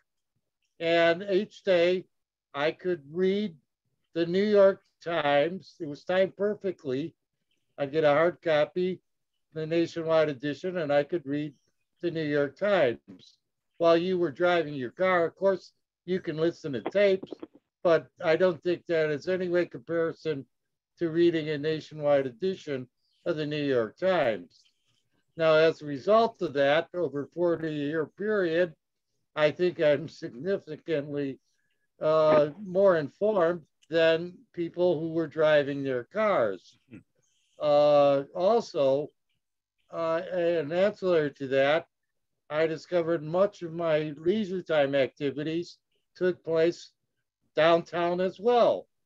And I still remember one period where I went to all sorts of events and I had never left the, the downtown area, given the multitude of cultural institutions that were there, the culture center and uh, the museums and so forth. So I never had to re, so both my work and leisure time activities were based on a very easy commute. Uh, to say that you had a preference, Tim, is is not. Is, I'm sorry, I. And then you had the expense of uh, uh, maintaining a vehicle as well, which a gentleman indicated could be somewhere between upwards of eighteen thousand dollars. So, I I think I win this issue here. Um, the uh, issue of yeah walkability is I've been around with this organization for many many years, actually almost since its inception, I believe, um, at least keeping up with it. Um, there is a thing, a concept of, of the eco village or sustainable communities in which you make an assessment overall, if you wish, of the carbon footprint of your community. Um, certainly the reduction in uh, the uh, need to use fossil fuels overall by all the residents of the community is certainly necessary at this point in time. And really think of what that community could benefit as well, instead of contributing to the CEOs of uh, ExxonMobil having a, a, a, very plush lifestyle. I, I keep it like he said, you know, you retain the uh, the economics within your community. I think Bob Matter, you would appreciate that. Um, the localized businesses and so forth. Also enable, I think also the young people are employed within those businesses as well. Uh, certainly appreciate having uh, uh, them in their location. That's just basically some random thoughts. I hope everyone enjoyed. I thought it was a pretty good talk, and I learned a lot. Actually, I have a newfound appreciation of that organization. I, I must admit, uh, subsequent to this presentation. Thank you. You know, I've often wondered, uh, you guys are so dead set against cars, but it was one of the biggest reasons why we were able to industrialize. I think it's been, um, personally, I think it's been one of the greatest things around. I remember when I got my driver's license, the first thing I remember was, my God, am I free? I can go anywhere I want and do anything I want and associate with my own friends and uh, go places. That means I can get up to the state line and uh, go see uh, a band play against a lake up in Twin Lakes, Wisconsin. It could mean I could go to the. Uh, it could mean I could then go to like Kenosha, Wisconsin, out to the harbor and go take a look out there. It could mean I could go downtown and with another friend and we could take tours of the city. It also meant that we could run to Rockford and see a film festival at some point or go you to couldn't get into the city before that? We've been into the city before that. Um, well, then how into, did it change? I drove. I drove into the city many a times when I was 18, 19 years old. That's where I got my architecture. It costs like $50 to park a car, doesn't it? Well, not really. You go to the right type of lot, you can go anywhere. Go to the one right by the county jail and uh, ten dollars let you park your car almost all night long, and you might have to walk. County jail. What are you talking great. about? It's great. Downtown. Downtown, you can do that. Go right near the Sears Tower. There's a parking lot there for under ten bucks. And you just have to walk. Okay, okay. many a I, time. I, okay. I just, That's the I best part wanna- about it is, is when you, when you leave, uh, right, when you leave the city, you're home in forty-five minutes instead of an hour and a half, two hours. It's gonna take you by taking right, public right, transit. right, right, right. Yeah, I'm, I'm, uh, I, I just want to say in response to that, I'm not, I'm not at all opposed to driving. I just think we need better, better, uh, public transit. And I don't think it's just a matter of, of I, I don't think it's just a matter of giving giving more money to the CTA and the other transit agents agencies. It's it's it's a it's a it's a question of getting the right people in there to control the thing because right now most of the most of the people who get appointed, uh, they're all appointed they're all appointed by uh, like CTA mayor of Chicago and, and governor of Illinois. And I don't know about Pace, it's a combination of Pace and, and Metro's combination of things. But the point is, most of the people who are appointed to those positions are appointed for political reasons that have nothing at all to do with knowledge about about transportation. I think that needs to change. I think we need to to get some people who have a real understanding of transportation in those positions in order to make it work better. And then more people will use it, and we'll have fewer p- private cars Look at, look at, look at New York City and the subway. New York would uh, drop dead if it didn't have its subway system. It's like its arterial arteries. You Oh yeah, yeah, yeah. If if if, if, New, if if New York didn't have their subway system, you wouldn't be able to drive anywhere. The, the roads would be too clogged with. I mean, there the, the, there would some be so much traffic con- congestion you wouldn't be able to get anywhere. I still think though Robert Moses was right in building all those roads into New York. Yeah. Anyway, um, Oh, Margaret, go ahead. Oh, Margaret Uh, Aguilar, you got your hand up, so go yeah, ahead. Yeah, I do have my hand up. I wanted to ask you, I have been kind of looking for the past uh, videos of the past things and the, the latest video I can They're find not posted yet. That's why I gotta do it. 2020. I know. Okay, No, so They haven't been posted. I'll be getting them taken care of fairly quickly. That's all I'm gonna tell you. that's two years worth. I know, Tim, I know. Tim, Tim, you've said about ten times, I've not pressured you. Multiple times that you could, it's gonna be next week. How about tomorrow? Let's see what you do.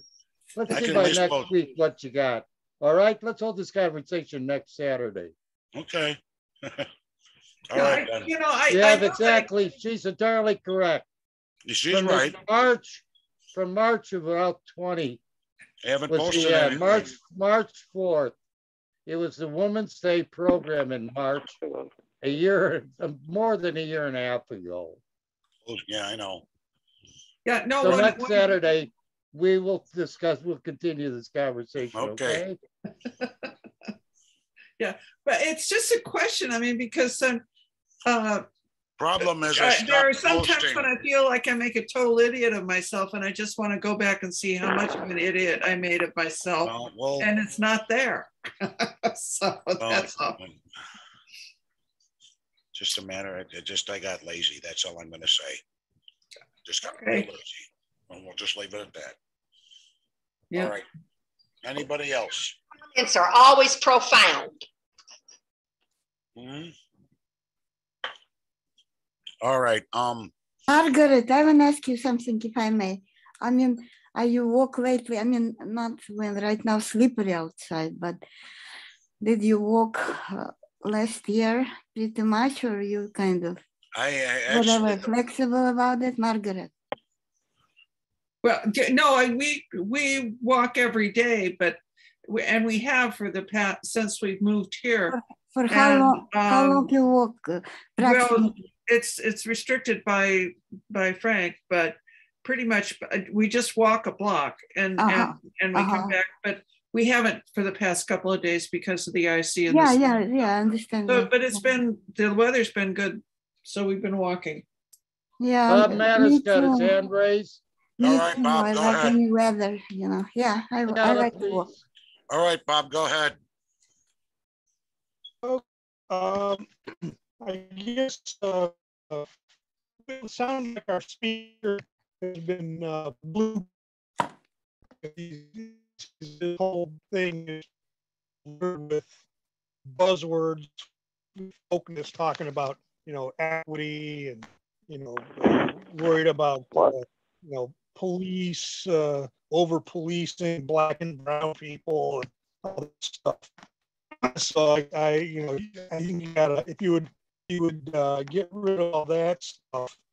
Uh, the rest of what he's got to say is pretty good. And there's other What? Bob, you're, you're fading in and out.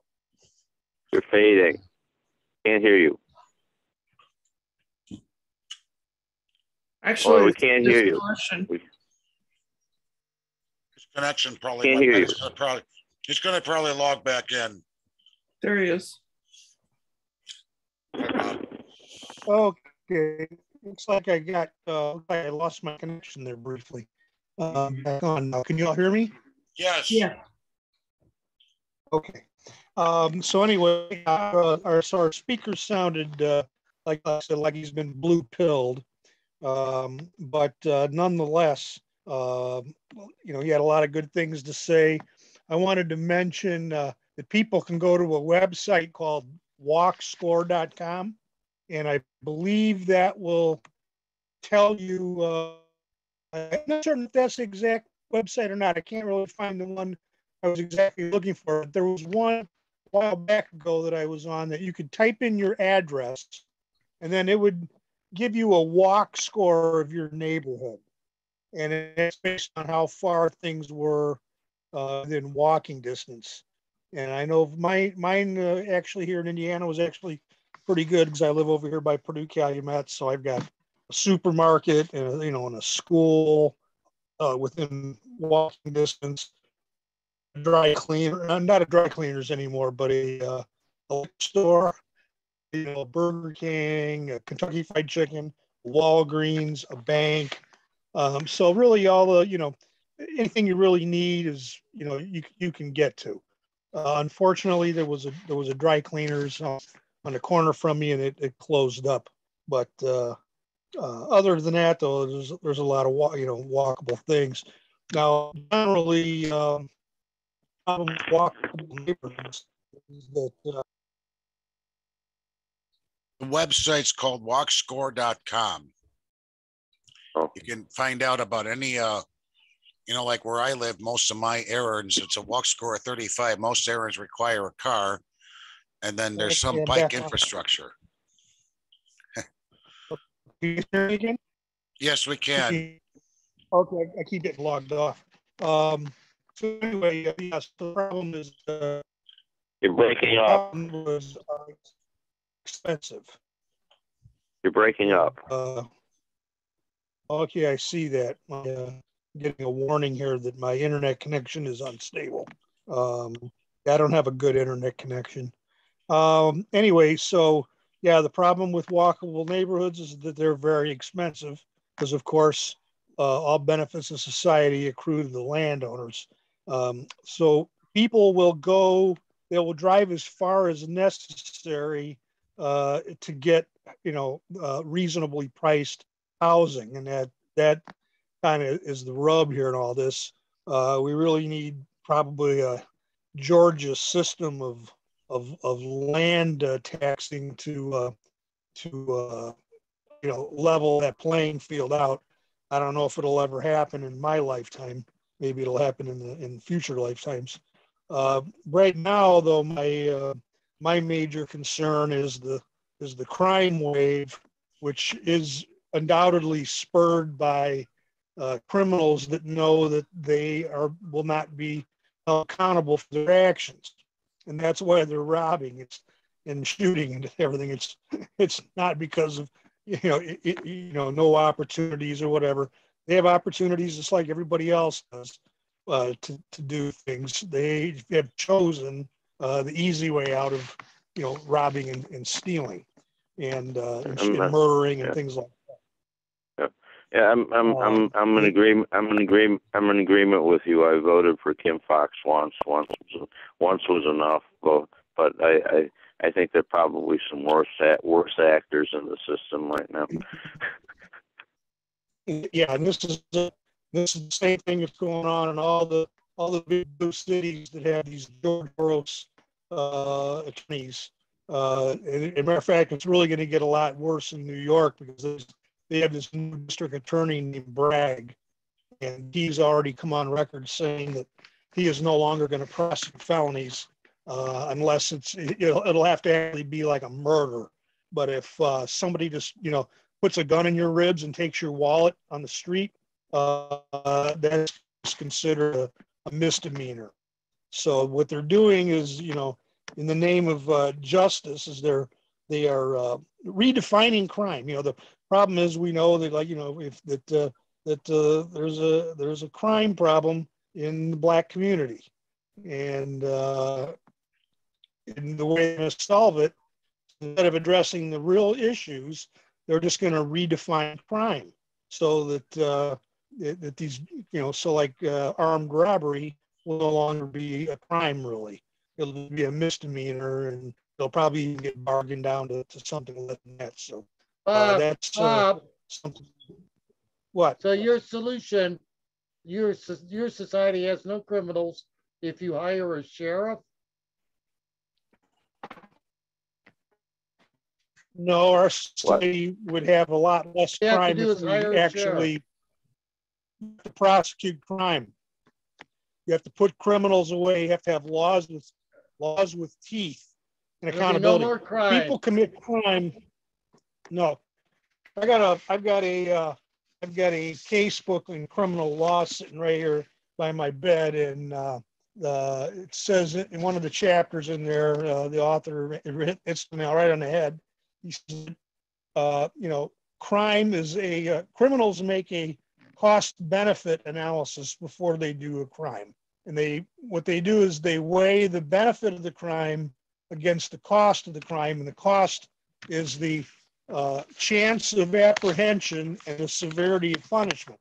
And when you, when we see that, like in in in uh, Cook County, for instance, that the uh, the uh, risk of apprehension is very low and the severity of punishment is practically nil. If that goes down, then crime is going to be for people. You know, they're making they're weighing those. You're breaking up again. You're breaking up again. Oh. Okay, sorry about that. I'll talk slower. I don't know if that'll help. My internet connection is bad here. Um, T-Mobile bought Sprint, and and my internet's just been shit ever since. So I think I'm going to have to get a new uh, provider. But um, anyway, so that's uh, that's the thing. That's what causes crime.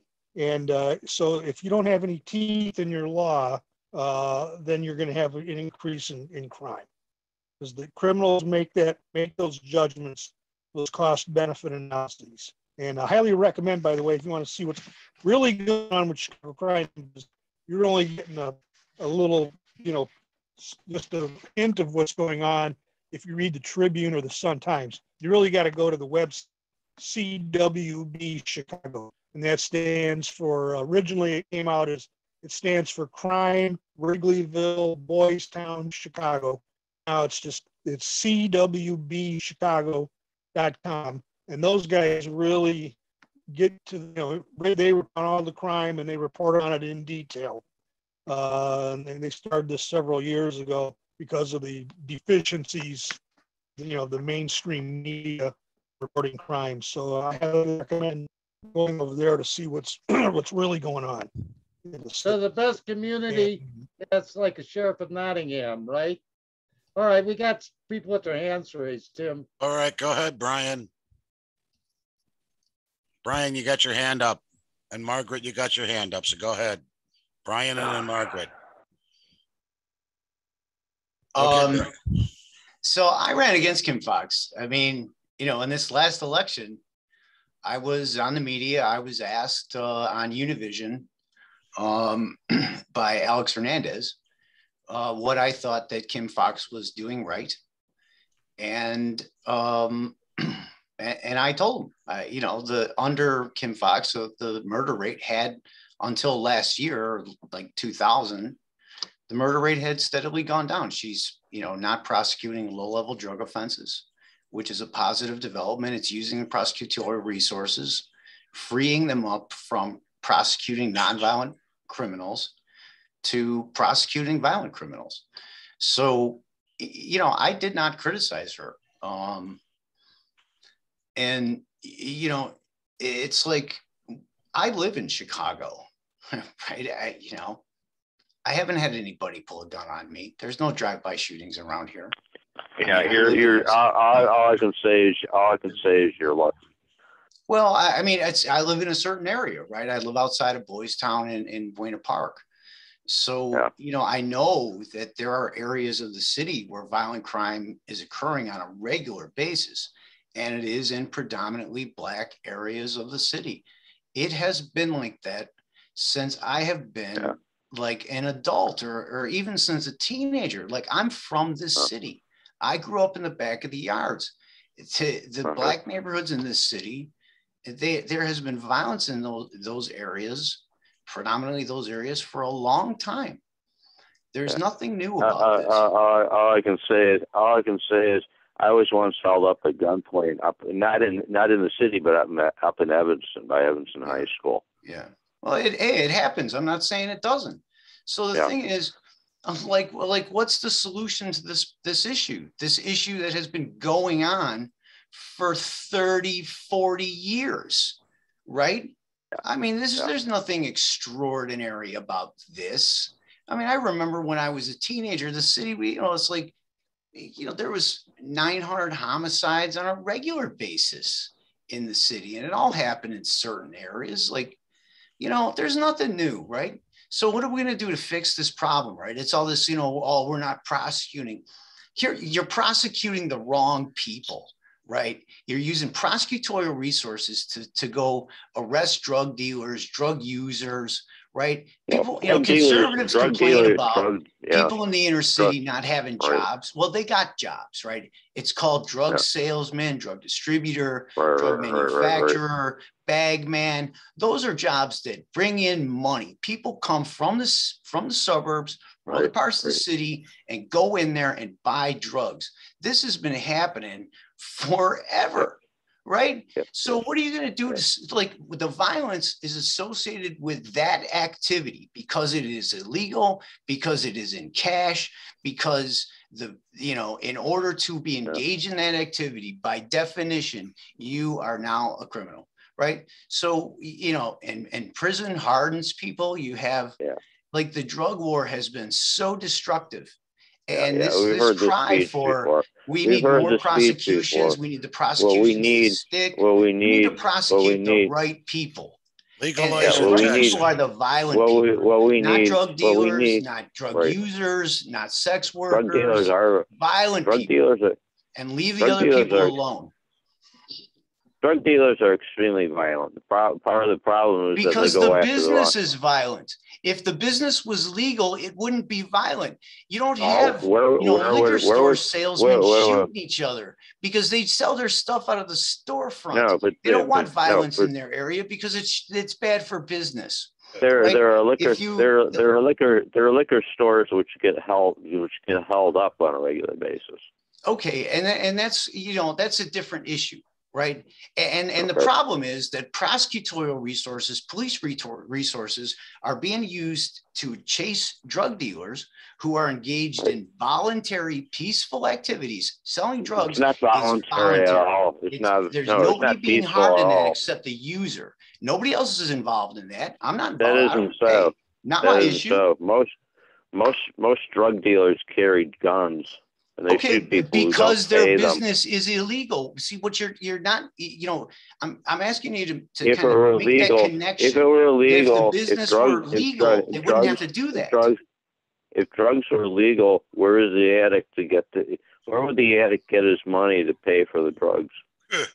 he could work in the drugstore he Yeah. could be Yeah, he could be the so. bad guy Most- and we could still of the- collect taxes from him right i mean the thing Yeah, is well, are- are well, you saying well, people how- could be how- growing how- and distributing Yeah, and but how- manufacturing and we could be collecting taxes instead I of don't, I don't buy and it. using those don't buy it. taxes to defer the I cost don't buy it. instead of using it. cops and I don't buy it. prosecutors and jails I don't and all buy the rest of this I don't stuff. All buy it. Jake, The let him, drug let him dealers- speak, Jake. Can I can I just can I just finish what I was saying? The drug de- the, the cops should go after the drug dealers because they're the real criminals. There, the drug the low level drug users should put into should be put into some kind of rehab program to in attempt to get off of it. And that's what Kim Foxx is doing. That's exactly what she's doing. So there's all this criticism about Kim Foxx, but that is what she's doing. She's Yeah, they're still going well. after they're still going after dealers. right, Margaret's right? got her hand up now, so let's let probably her have a question uh, because you all are in Illinois. I'm in Texas, which has very liberal gun laws. Very easy for people people to obtain guns. What is the law in Illinois? It is very difficult to own a gun up here. It- like you have to get a card. So so it's a shall issue state, right? So when you submit to get a FOID card, they do a criminal investigation. You got to certify that you haven't, you know, you, you haven't done certain acts. They run a background check on you, and then it's a shall issue. So they, they'll give you a FOID card. But to maintain the FOID card, there's a million ways in which you can lose the FOID card, right? And they're very eager to take it away from you.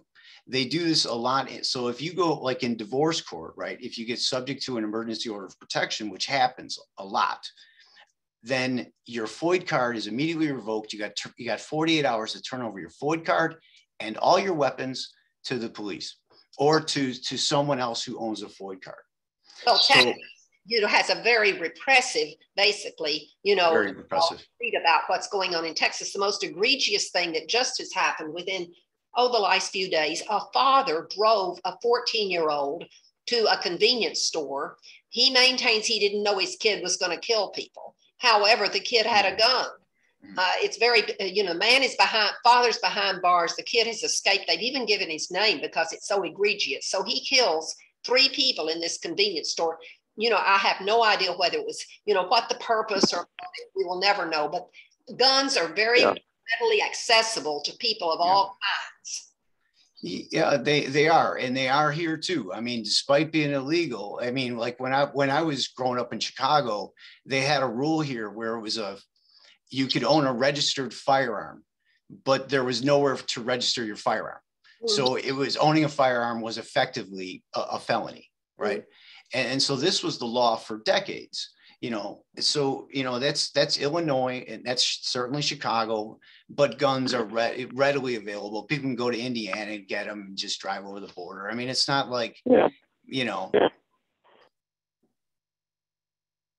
I'm told, I'm told, I think it was in the state of Missouri that just passed this absurd law called the Second Amendment Protection Act, which says that if if you're stopped by by the police and they find they find guns on you, uh, and particularly multiple guns, they can conf- if they confiscate the guns, you can turn around and sue the police officer for up to fifty thousand dollars for for for violating or violating violating your, your your your rights under the Second Amendment. And the absurdity of it is there are police officers and other law enforcement types who are opposed to the law because they feel that it because they feel that it, it favors the criminals. Well, doesn't it kind of do so? I mean, if a guy's got multiple guns in his Right, right, right, right. There, there, there, there. there apparently, there's a drug dealer who's suing who's suing a cop for for taking his weapons away. Yeah, well, So I, I- think I think the founding fathers intended the Second Amendment to apply to law enfor law law-abiding citizens, not to convicted not to convicted felons. Uh, drug dealers do not have the right to bear arms. so I, I'm gonna I, I'm gonna disagree with you on that. Every single person in this world has the right, and it's natural and it's unalienable to defend themselves by any means necessary, and that includes firearms. If they are not in the custody of the state, that they are a free person, their rights should automatically be restored to them. Any rights that were restricted while they were incarcerated or, eh, or in the custody of the state, including their right to bear arms. So this idea that somehow criminals have become dehumanized, that their rights have been diminished in some way, no. Brian, no right, no right at all has ever been exercised in the absolute. For example, free speech. You don't have free speech at work in many other situations. So don't tell me you have an absolute right to weaponry to endanger the community. That does not, that does not equate, man. Right. So don't tell me Right. you have an absolute right to firepower. And, and not having firepower means that your life is being threatened. No, that's Right, not so- the case. So Right. You, And you, just right, in right. general, Another, another, Your life, wait a sec, please. That means in general, your life is threatened. My life is not Right. being threatened right now. I'm sorry, and I don't need a weapon. Okay, I'm gonna, Right. since, since we're Right, continuing, or another, another, another, another, another way, another way, another way to put it. You're saying that that the drug de- drug dealer has a right to bear arms in order to protect themselves, protect them, course. protect himself from other drug dealers who are doing equally illegal activities. That's what Absolutely. you're saying. Yes, because their that right flows from their humanity, not from the exercise or or compliance or willingness to comply or not There's comply with no some such law. thing as the. That's a that's a basic human right. Humanity. Wait a minute. What are these laws from humanity? Where the, what are you making this up? Our unalienable rights. It's listed in the, No, in no, the Declaration of Independence. passed by, hey, the only laws I know, pal, are the laws on the books passed by a legislature. If you're gonna Mhm. start making up laws and infinite in your mind, you can make up laws. Uh, Boy, so where so did you get that? Where did so you get that comrade ability? c- You can't comrade make Charlie, up laws? What, from philosophy? can I can I respond to you there, comrade Charlie? I'll tell, I'll tell, I'll tell you, I'll tell you exactly where to find it. The Ninth Amendment of the US Constitution, because the Bill of Rights says that it specifies, right, that these are declaratory and restrictive statements. They are, they are made as further restrictions on the powers of the federal government. The Ninth Amendment says specifically that any rights here not enumerated are reserved to the people, that it, the, the, um, that our rights are penumbra. We have all the rights in the world that you cannot measure the rights that human beings possess. What we are defining in our constitution is the limits of government power, You know better. not than the that. limits of our You rights. know about Kate Brian, you're lawyer. okay. You know about case law. All right, before, before we go any further, I'm gonna, on. What are you playing dumb? I just told you the Ninth Amendment. Go No, read you it. know What is about it? What, Go read it, comrade. what, what, what does the Ninth Amendment say? All right, I'll pull it up so I can quote it exactly. Omnibus. If, if he thinks there's a loophole, the loophole. What does the Ninth Amendment say? Just, just, just in, in, in summary, what does the Ninth Amendment Okay. say? Because I'm not. So it familiar with says, um, the enumeration in the Constitution of certain rights shall not Yeah. be construed to deny or disparage other rights retained by the people. Right. So what that says is, and in our Constitution is based on the limited and enumerated powers of the federal government as defined in the, I don't know what article it is, but there's the duties of Congress. It defines the role and limits the role of Congress. It doesn't define the rights of the people. The rights of the repeat of the people are it, that nothing in the Constitution shall disparage or deny us our rights, our unalienable rights as described in the Declaration of Independence. And it's, you know, Yeah. I understand, comrade Charlie, that you want to have authority over anyone to do anything that you want to them in order in service of the state, right? But that's not the way this country is set up. No, no, that's, that's not the point. Wait, wait, The wait, point wait, is that wait a you, minute. It the- was but the set up to point- the point- establish law, rule, and regulation. That's why you set up a government. Now you're saying it's not. That's nonsensical. They Read the they gotta your Constitution. government together. set up to this protect our established government. And now you're saying, what do you, that would be nullified all of the above? None of the above shall apply. Come on, I write contracts. You can't write a clause like that. None of the above have, has any application. That's the way it's written, Charlie. No, it is not. what? It is You know absolutely. better. You oh. are a lawyer. Okay, so here's what Not here's what I here's what I know, Charlie. Here's what I know is that almost every law that the federal government has passed has been passed under the Commerce Clause of the US Constitution. Under the duties of Congress, there's a clause that says that Congress shall have the power to regulate trade among the several states and the Indian nations. So the way that's been interpreted is everything is related to commerce. What isn't related to commerce? What can't you buy or sell?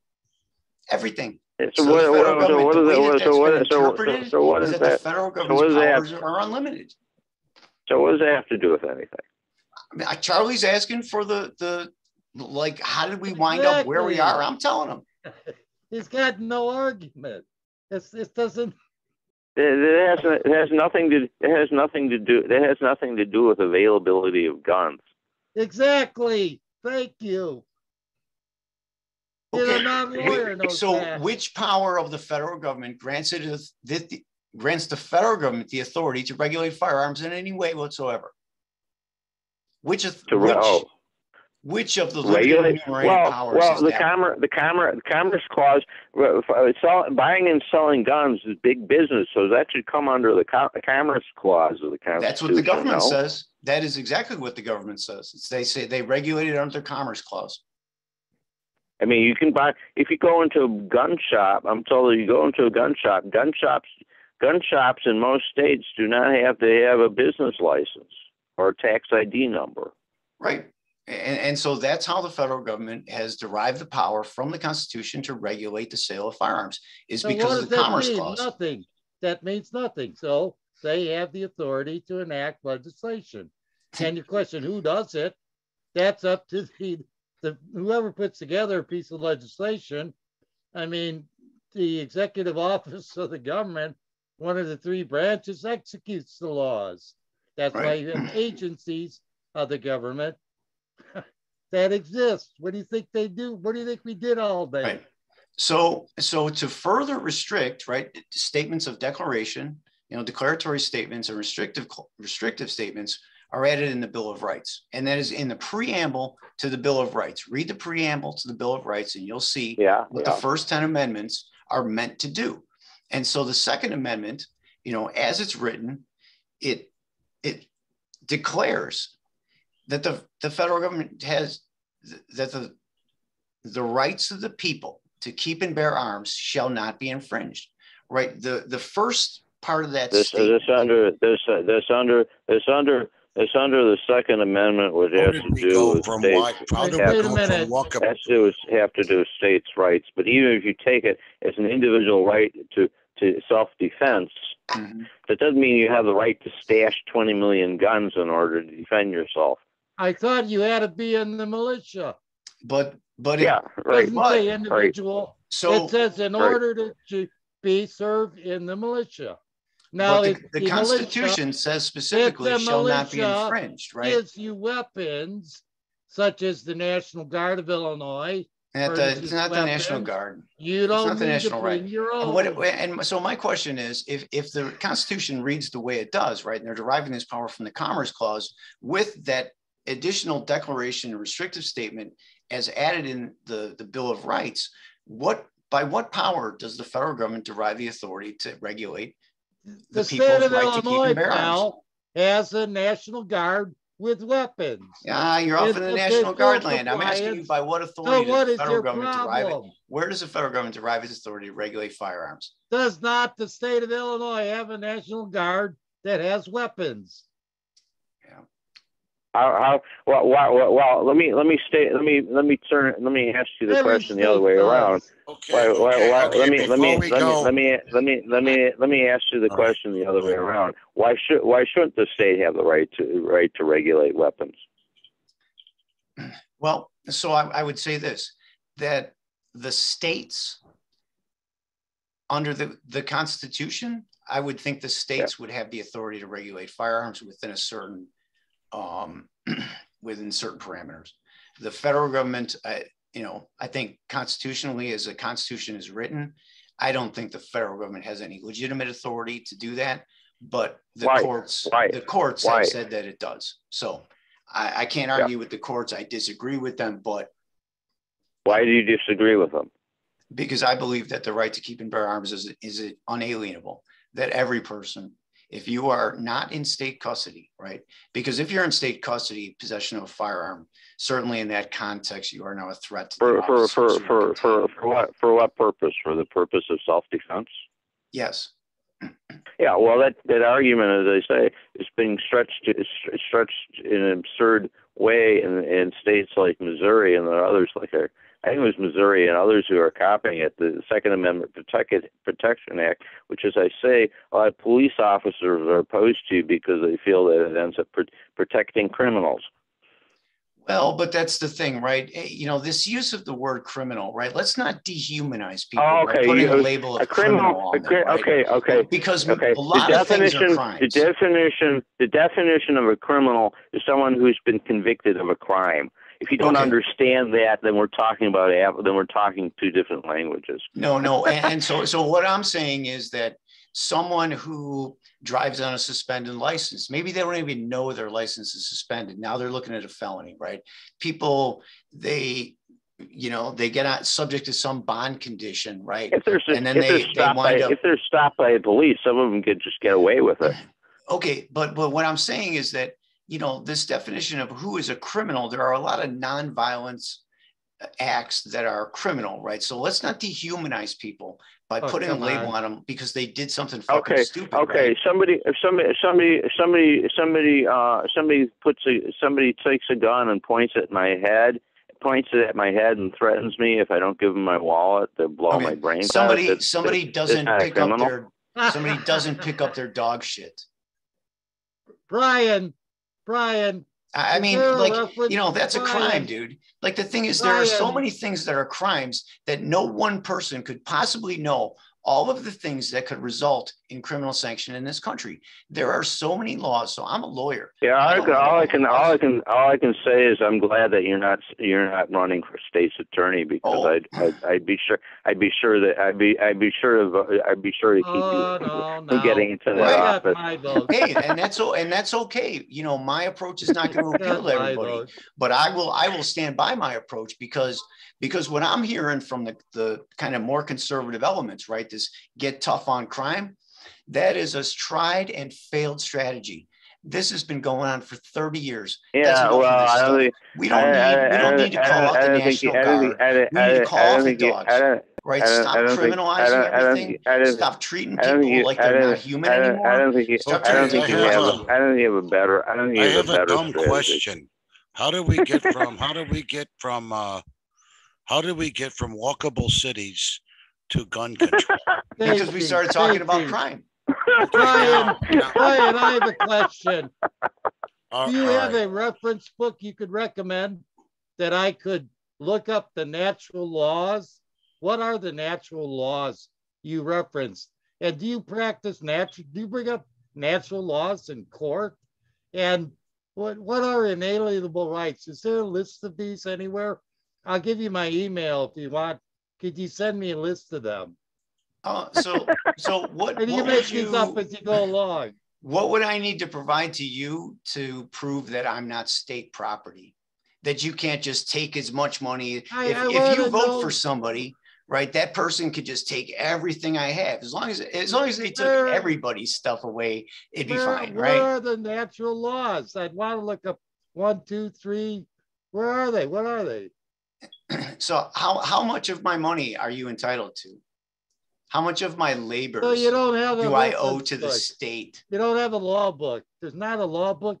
I've been in law libraries. I lo- did Charles, it's life, Not one book. liberty, and pursuit of happiness. Those are our, are inalienable rights. Life, liberty, and the pursuit of happiness. And life means Okay. that I am able to protect my life. And, and that is an unalienable right, not given, can't be taken away. And when we That's start right. Saying government criminals, right, this broad category of these thousands of crimes, most of which no one is harmed in the course of, So and we start law. taking away people's rights Wait a minute. and wait a dehumanizing them by labeling them Oh, so, criminals. so, Wait so somebody, like to know so, where's the case law on natural rights? It's right here. Cases? okay, so what, what do you, what do you, you say, you're saying most, You know, you're saying most, you're saying most crimes are nonviolent and, and, and, Uh, and don't, absolutely. they don't affect other people. Name, name, name a few crimes, name a few crimes that don't actually uh, affect other people. Okay, so let's talk about scope of harm, right? So, so Yeah. you breathe in oxygen, you blow out CO2. CO2 is causing deforestation. Your breath is harming me. You're killing me, right? So let's talk about the scope of harm and let's be realistic. I, about I, I, things, right? and that's that's that's So- that's absurd because I don't I think understand, I don't, I don't is- think I don't think I don't think is a anyone was I don't think I don't. I don't think anyone was ever arrested for breathing.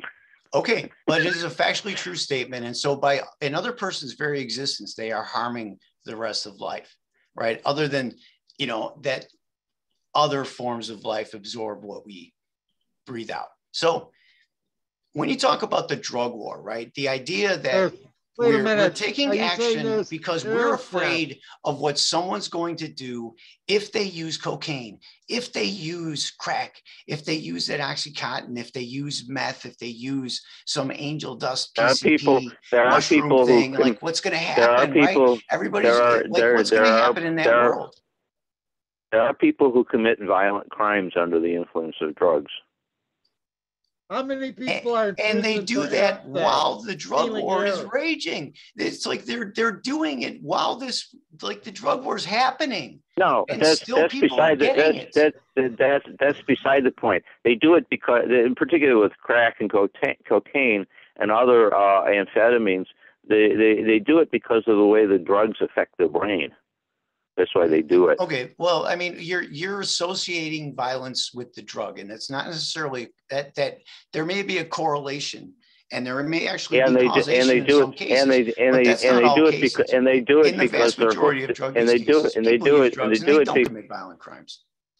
That may be so, but there's enough there's enough violent crimes that are committed by drug addicts. Okay, That's been and- documented. and and and, and, and part of it part of it too part of it too if they if they if if if if they run out of drugs they get desperate and then they uh, desperate and if they don't have any money they rob somebody in, in order to buy more drugs Oh, oh, a- and all those things, I I agree. I mean, uh, you know, hundred percent of what you said is true. And so, what I'm, what- Ryan, uh, and so can I what I'm proposing to you is that it is a drug, it is the illegality, the black market that creates that problem, right? Because Oh, so drugs you- are illegal. okay so they okay have to okay deal with a wait, wait, wait. criminal to so them. so okay so if you okay so if you if you if you if you if you legalize it what's that then what's that going to do to the price and what does I mean look at the opioid addiction the opioids are illegal people people people are people get hooked on them and then they get desperate Uh, the, the more hooked on them the more they need them Yeah, just hold the liability laws up. You'd have no problem then. Get Right. your guns do you legalized, but hold up the liability laws. You'd be have no problem regulating them then. what do you mean the liability laws how would that work Ask Brian. So, so my Well, proposal is- is this, right?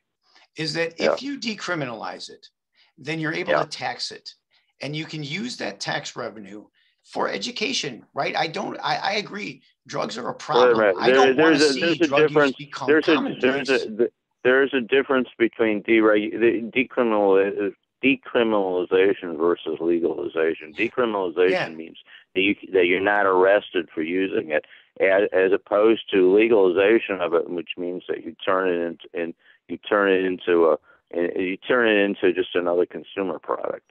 Yeah, Like that's the way to do it. well, and, I- and I I'll dis- tell you I disagree. have I concerns Look disagree. at I disagree. I disagree. I disagree because then, then legalization's been. Yeah, yeah, and I'm I'm allergic to pot, so I stay clear. away. I've never I never used pot with or without inhaling, as Bill Clinton once inf- infamously put it. Um, I'm allergic to, to to marijuana, so I stay clear away Just from try it. the edibles then. What? Try the edibles. I'm I'm allergic to it. I'm allergic to the substance. I don't want anything to do with it.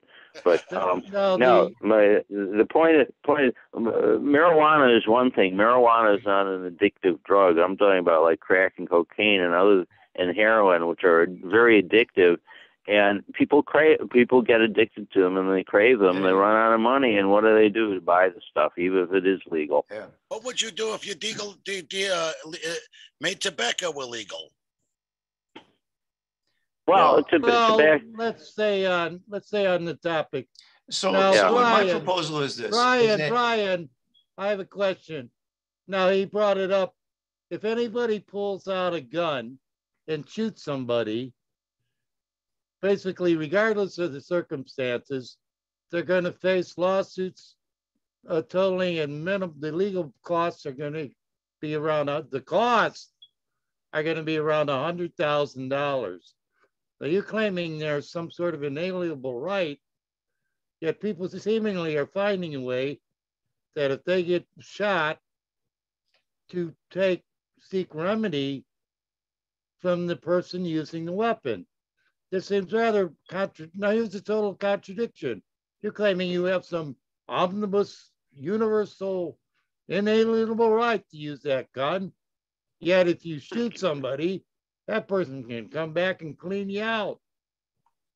So Right. Isn't that the way it apparently the be? courts don't seem to think, I, I'm, the only thing I can conclude is you in fact don't have such an expansive right to that gun or to use it. Well, uh, all right, here. Here's the thing, Charlie, is that you know, I have the right to swing my arms and kick my legs, but I don't have the right to swing my arms and kick my legs at someone else, right? I mean, it, it's like you're you're equating a person, you know, possessing the the right to defend themselves with the initiation of force right? I mean, if you're pointing a weapon at someone and shooting them, you are initiating force. You're initiating violence. You don't have the right to initiate violence against someone else. And and I think the issue is that, like, when you talk about taxation, you're initiating violence on somebody. I don't want you taking my money, but you know, you guys in No, your no, big hey, schemes, minute. right? You figure out, oh, I owe more taxes, Wait a so you come take I'm my money to pay for your schemes. stuff, That libertarian nonsense, that government is violence. That's that, that doesn't go here. That does not slide. We're not getting into George Washington violence. himself No, said that. that is off the chart. No. Go on. George something else. Washington, the government We is are not, not eloquence, by- the They're government not is going to allow violence. that. George Washington. That the government is violence. Now you're George getting us into Washington. trouble. You're gonna get us in trouble. You're authorizing violence, and I'm not gonna have that at the fucking college. So move on to something else. I don't know. I heard that before. All right, now, now. That now- is not allowed, pal, Okay, and you know better. Uh, now, uh, Okay, Brian, we, this has been getting to be a good discussion. The government that Well- that's authorizing acts of violence, and we're not gonna have that kind of talk. So, hey, and, and I'll be very, very clear. As a libertarian, it is part of our, our pledge and the pledge I signed that, you know, we won't initiate force against other people. And that's like non-aggression is the basis of the libertarian philosophy. So, you know, non-initiation of force, that is primary to everything that the Libertarian Party stands for. So, you know, I mean, I mean, the thing is, you know about people's unalienable rights is is when you if a person is released from state custody they've served their sentence they've done their time right they're rehabilitated whatever the purpose of our criminal justice incarceration or jail system is they've done their time right and upon leaving are they now are they no longer a free person have they lost because they made a Oh mistake yeah, oh yeah. No, I mean, they're, are- they're, are- they're- do we still believe in that poss- that people that have people have the possibility to redeem themselves, that they're worthy of of of, of as Oh, many yeah, chances yeah. in life as as that they Oh have? yeah. Okay. Okay. So I you know, and, and so to kind of parse it out to say, you know, and I'm not talking about you know nuclear missiles. I'm not talking about F-15s. You know, like an AR-15, a semi-automatic rifle that is commonly held by Americans, right? That is something that is, you know, part of our unalienable rights as individuals. It is, you know, adopted in part of our culture. So, you know, like felon, non, like a felon can't get a gun. Yeah, you can, no problem. I mean, it's like, you know, to have these prohibitions to say you can't, well, you're just setting him No. up to, to I've- you know, commit no, another uh, felony, violation of parole standards or something. Yeah, well, giving up your right to, to own a firearm, that part, that's part of the punishment uh, that happens when you have used a, a gun in a crime. So I'm, I'm, I'm good with that. If you use a gun in a crime, like a violent crime, I agree with you because I believe that the Second Amendment is a political right. And that someone using a firearm in the commission of a violent crime to rob somebody, to, to harm them, to threaten them, that they're violating a political right that is one of our most honored in our American tradition. So, Yeah. you know, What do you when mean you by say political somebody using a gun in a violent crime, yeah. So Hey, that, fucking stick so it to yeah, 'em, so that, so that, that means, so that means that even when they're out of prison, no, you don't get to have a gun again. You've already, you had your chance to use a gun and, or to have a gun and you used it as a, you know, uh, you know, as a, uh, an offensive weapon to, to rob somebody or something. So now you've lost your, you've lost your right for future gun as far as I'm concerned. That's part of the punishment. And, and then that, and then that again goes with the, um, you know, the, uh, uh, cost and benefits criminals weigh in their mind when they're before they commit a crime. And they think to themselves, well, if I rob this bank, if I get caught, I'm never going to be able to legally own a firearm again. That's Mhm. part of that adds to their decision. So that's why that needs to still be in there. Once you you- once you commit a crime with a gun, that's it. No more guns for you. It's it's you're one and done. That's it. That and that and I'm good with that. I'm not buying the stuff that oh once you're not a once you're no longer you know uh you know uh incarcerated now you can have a gun again. No. No, that's part of your punishment is that once you use a gun in a crime, then you can never have a gun again. And that that's that's I'm going with that. That's fine. I'm fine with that. So uh, can I can I offer like a so there was a case with the Supreme Court where this guy what he did was um it was a it was a misdemeanor charge of domestic violence. Like he was in a fight with his girlfriend. She was coming up behind him and he like slammed the door behind himself and she like she was injured in some way right? So he was convicted and under the state law he was now um you know prohibited from owning a firearm for the rest of his life. And, no, and if you no, talk that about like that the second amendment is that- a that- political that's- right. Well, that's that's not that's not what I'm talking about. Well but but I'm even not saying any felony. I'm saying felony, you know, commission of a of a of an offense with a firearm, like you know, armed robbery, Right. something like that. and and and to an extent i agree with you right in in principle but as i think about in the in in practicality in implementation right how is that going to how's that law going to be implemented what power are you now giving the government because if you empower the government to say okay you know whatever we define as violence then you know we'll reserve the right to take your firearms away for the rest of your life because you know we some committee decided that what you did was violence. So Brian, uh, an act of violence is okay as long as it is not precipitated using a weapon? No, what, I'm- what I'm saying is that if you say that Is the an act of violence to the victim an act of violence? Is is the an act of violence begins with uh, the initiation of force, where it's is this undue, unjust or you know disproportionate use of force. So, like to me, that's where All right. aggression. An takes act of violence. is- is Okay, a before we serious go, I'm gonna stop. Under right. any circumstances, I'm sorry, in the work, in the, in the labor law, any act of violence is immediate removal. There's, no and there's no middle ground. I'm sorry, I don't know where you guys are Any coming any from. any The law any is act of absolute. Believe you me, it is absolute. You are fired. any, oh, oh you're fired. Okay. well, so so let me so And- like and domestic doesn't say violence. So I'll ask you this: is domestic is domestic violence violence? fired.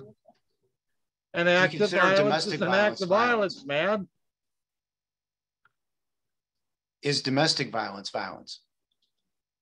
Well, of course, it's violence. What, what, Okay. what else is it? I must. So, con- so domestic violence is defined and it, it can include humiliation of um, your partner. Like if your partner you, I can go humiliates you and in front of your friends, well, that could well, be but- considered domestic violence under the statute. The way the law is written, emotional abuse, psychological abuse, right? Intimidation of a dependent, deprivation of liberties, right? These things are considered domestic violence, and they're very. What does what do you mean? You know, So because when when say, does your arguing with your wife become The, the eh, employee become domestic abuse, right? Does it become a minute. emotional abuse, You're- you're or or is it just you guys having a fight, right? You're, you're saying I can argue that the employee should not be fired, even though he committed an act of violence, but no weapon was used. What employee? Okay, could a, co- a company fire its own employee? Yeah, but. Fire a- them for anything. I don't care. a- I mean, an employee is, is an employee. Yeah, they're they're subject to the, the policies. Yeah, but in Fire labor law, an act of violence is sufficient. And you're saying, you're saying there's a binary system.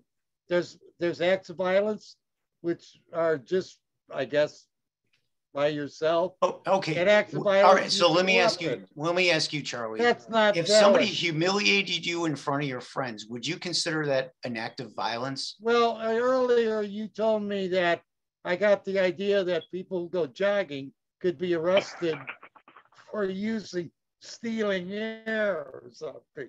So I'm a little, I don't know what, where you're coming from legally.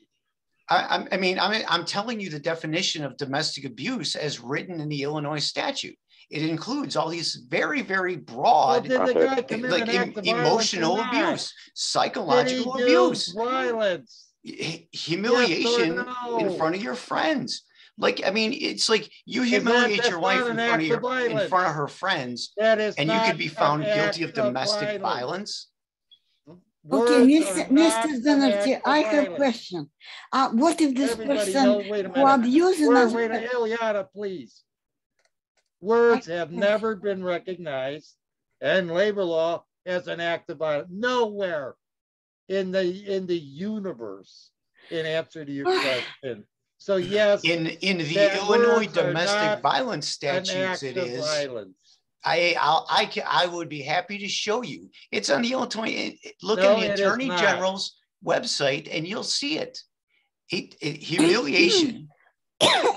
It- Humiliation. domestic violence. We're, we're, we're, we're, we're, violence. we're Mr. splitting, okay, we're, we're, we're splitting hairs here. We're splitting hairs absurd, here. Okay, Mr. Dennehy, very quickly. Listen, uh. I understand what you're saying, and I'm applaud what you're saying because I'm absolutely agree uh, with right now. uh, Let's praise what you said. I very much agree what you said, and we have a couple attorney in our family as well. Anyhow, but what if this person, you know, who abuse another person emotionally and humiliate? What if this person uh, mentally sick? So I mean, how people, you know, it's very controversial. How people supposed to react, right? Mhm. I mean, it's, it's crazy if somebody abusing somebody in front of friends or acquaintances, or you know, you know, I'm in medical field, and sometimes I'm also uh, studying psychology. You know, let me tell you, sometimes it's, I mean, it's very controversial because listen by your own ear, like somebody abusing uh, somebody, especially if they good acquaint- acquaintances, let's say, not friends, Mhm. acquaintances, or friends or relatives. It's terrible. It's humiliation. Its reaction could be very, very, you know, very anger and blah blah blah. But what if it's something do this person wrong mentally? I mean, what to do about it?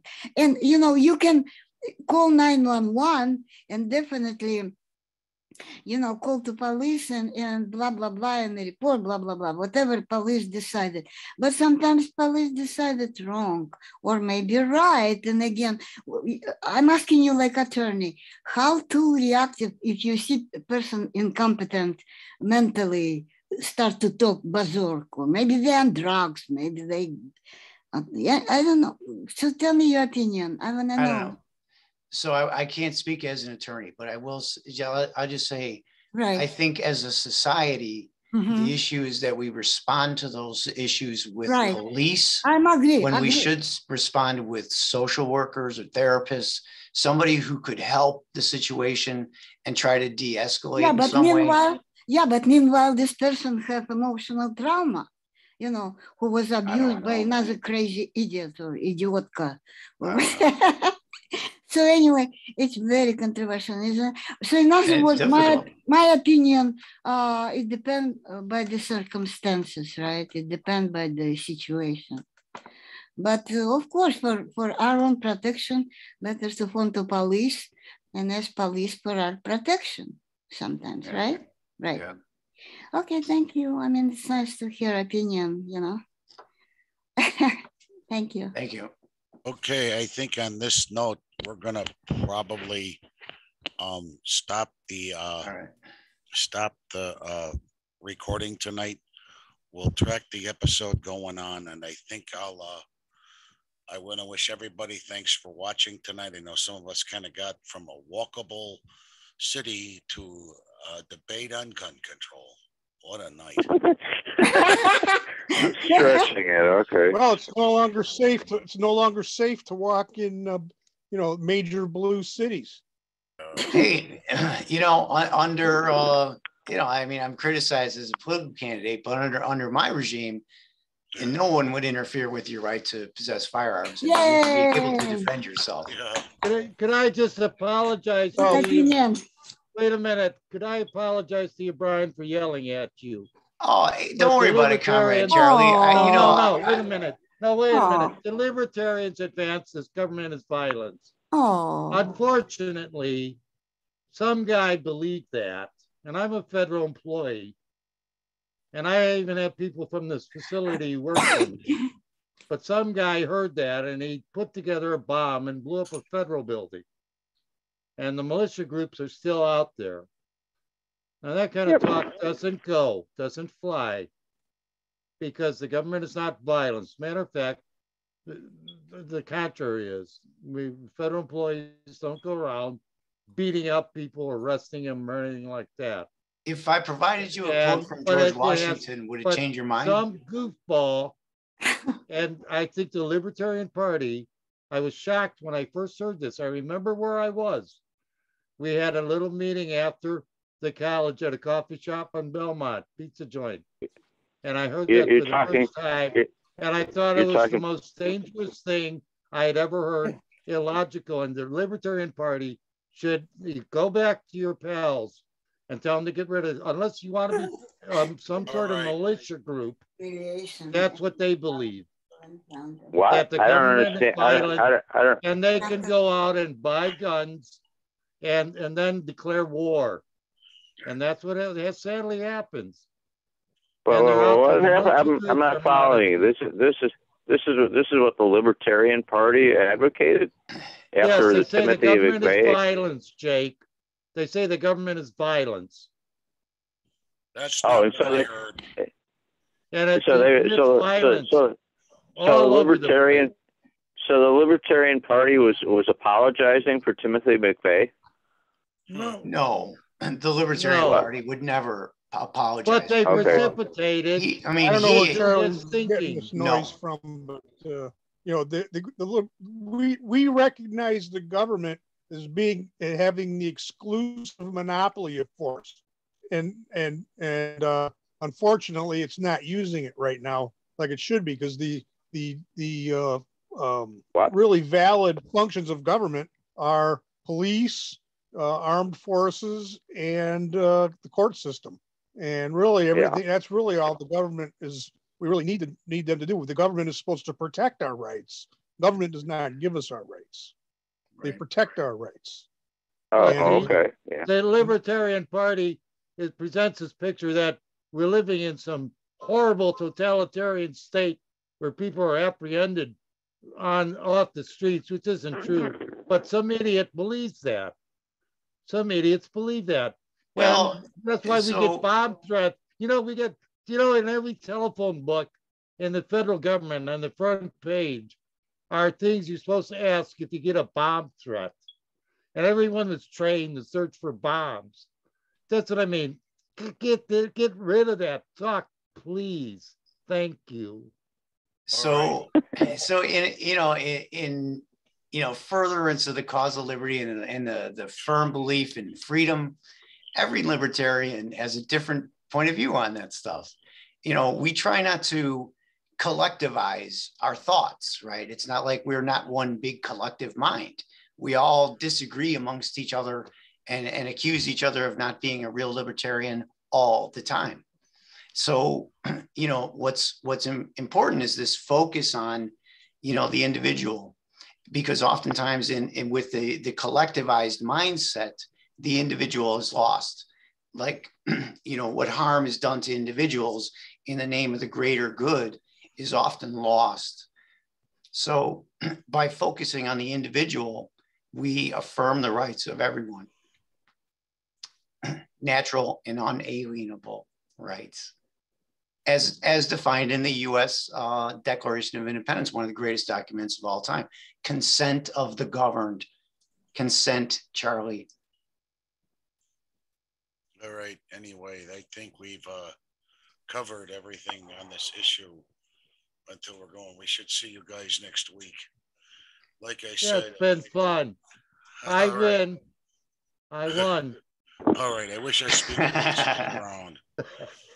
Ellen, I hope you have a I good win night. Bob, again. have a good night. Eliana, have a good night. Um, right. stop the recording now and uh, have a, uh, we're gonna s- conclude Yeah, this take college care, everyone. Conference.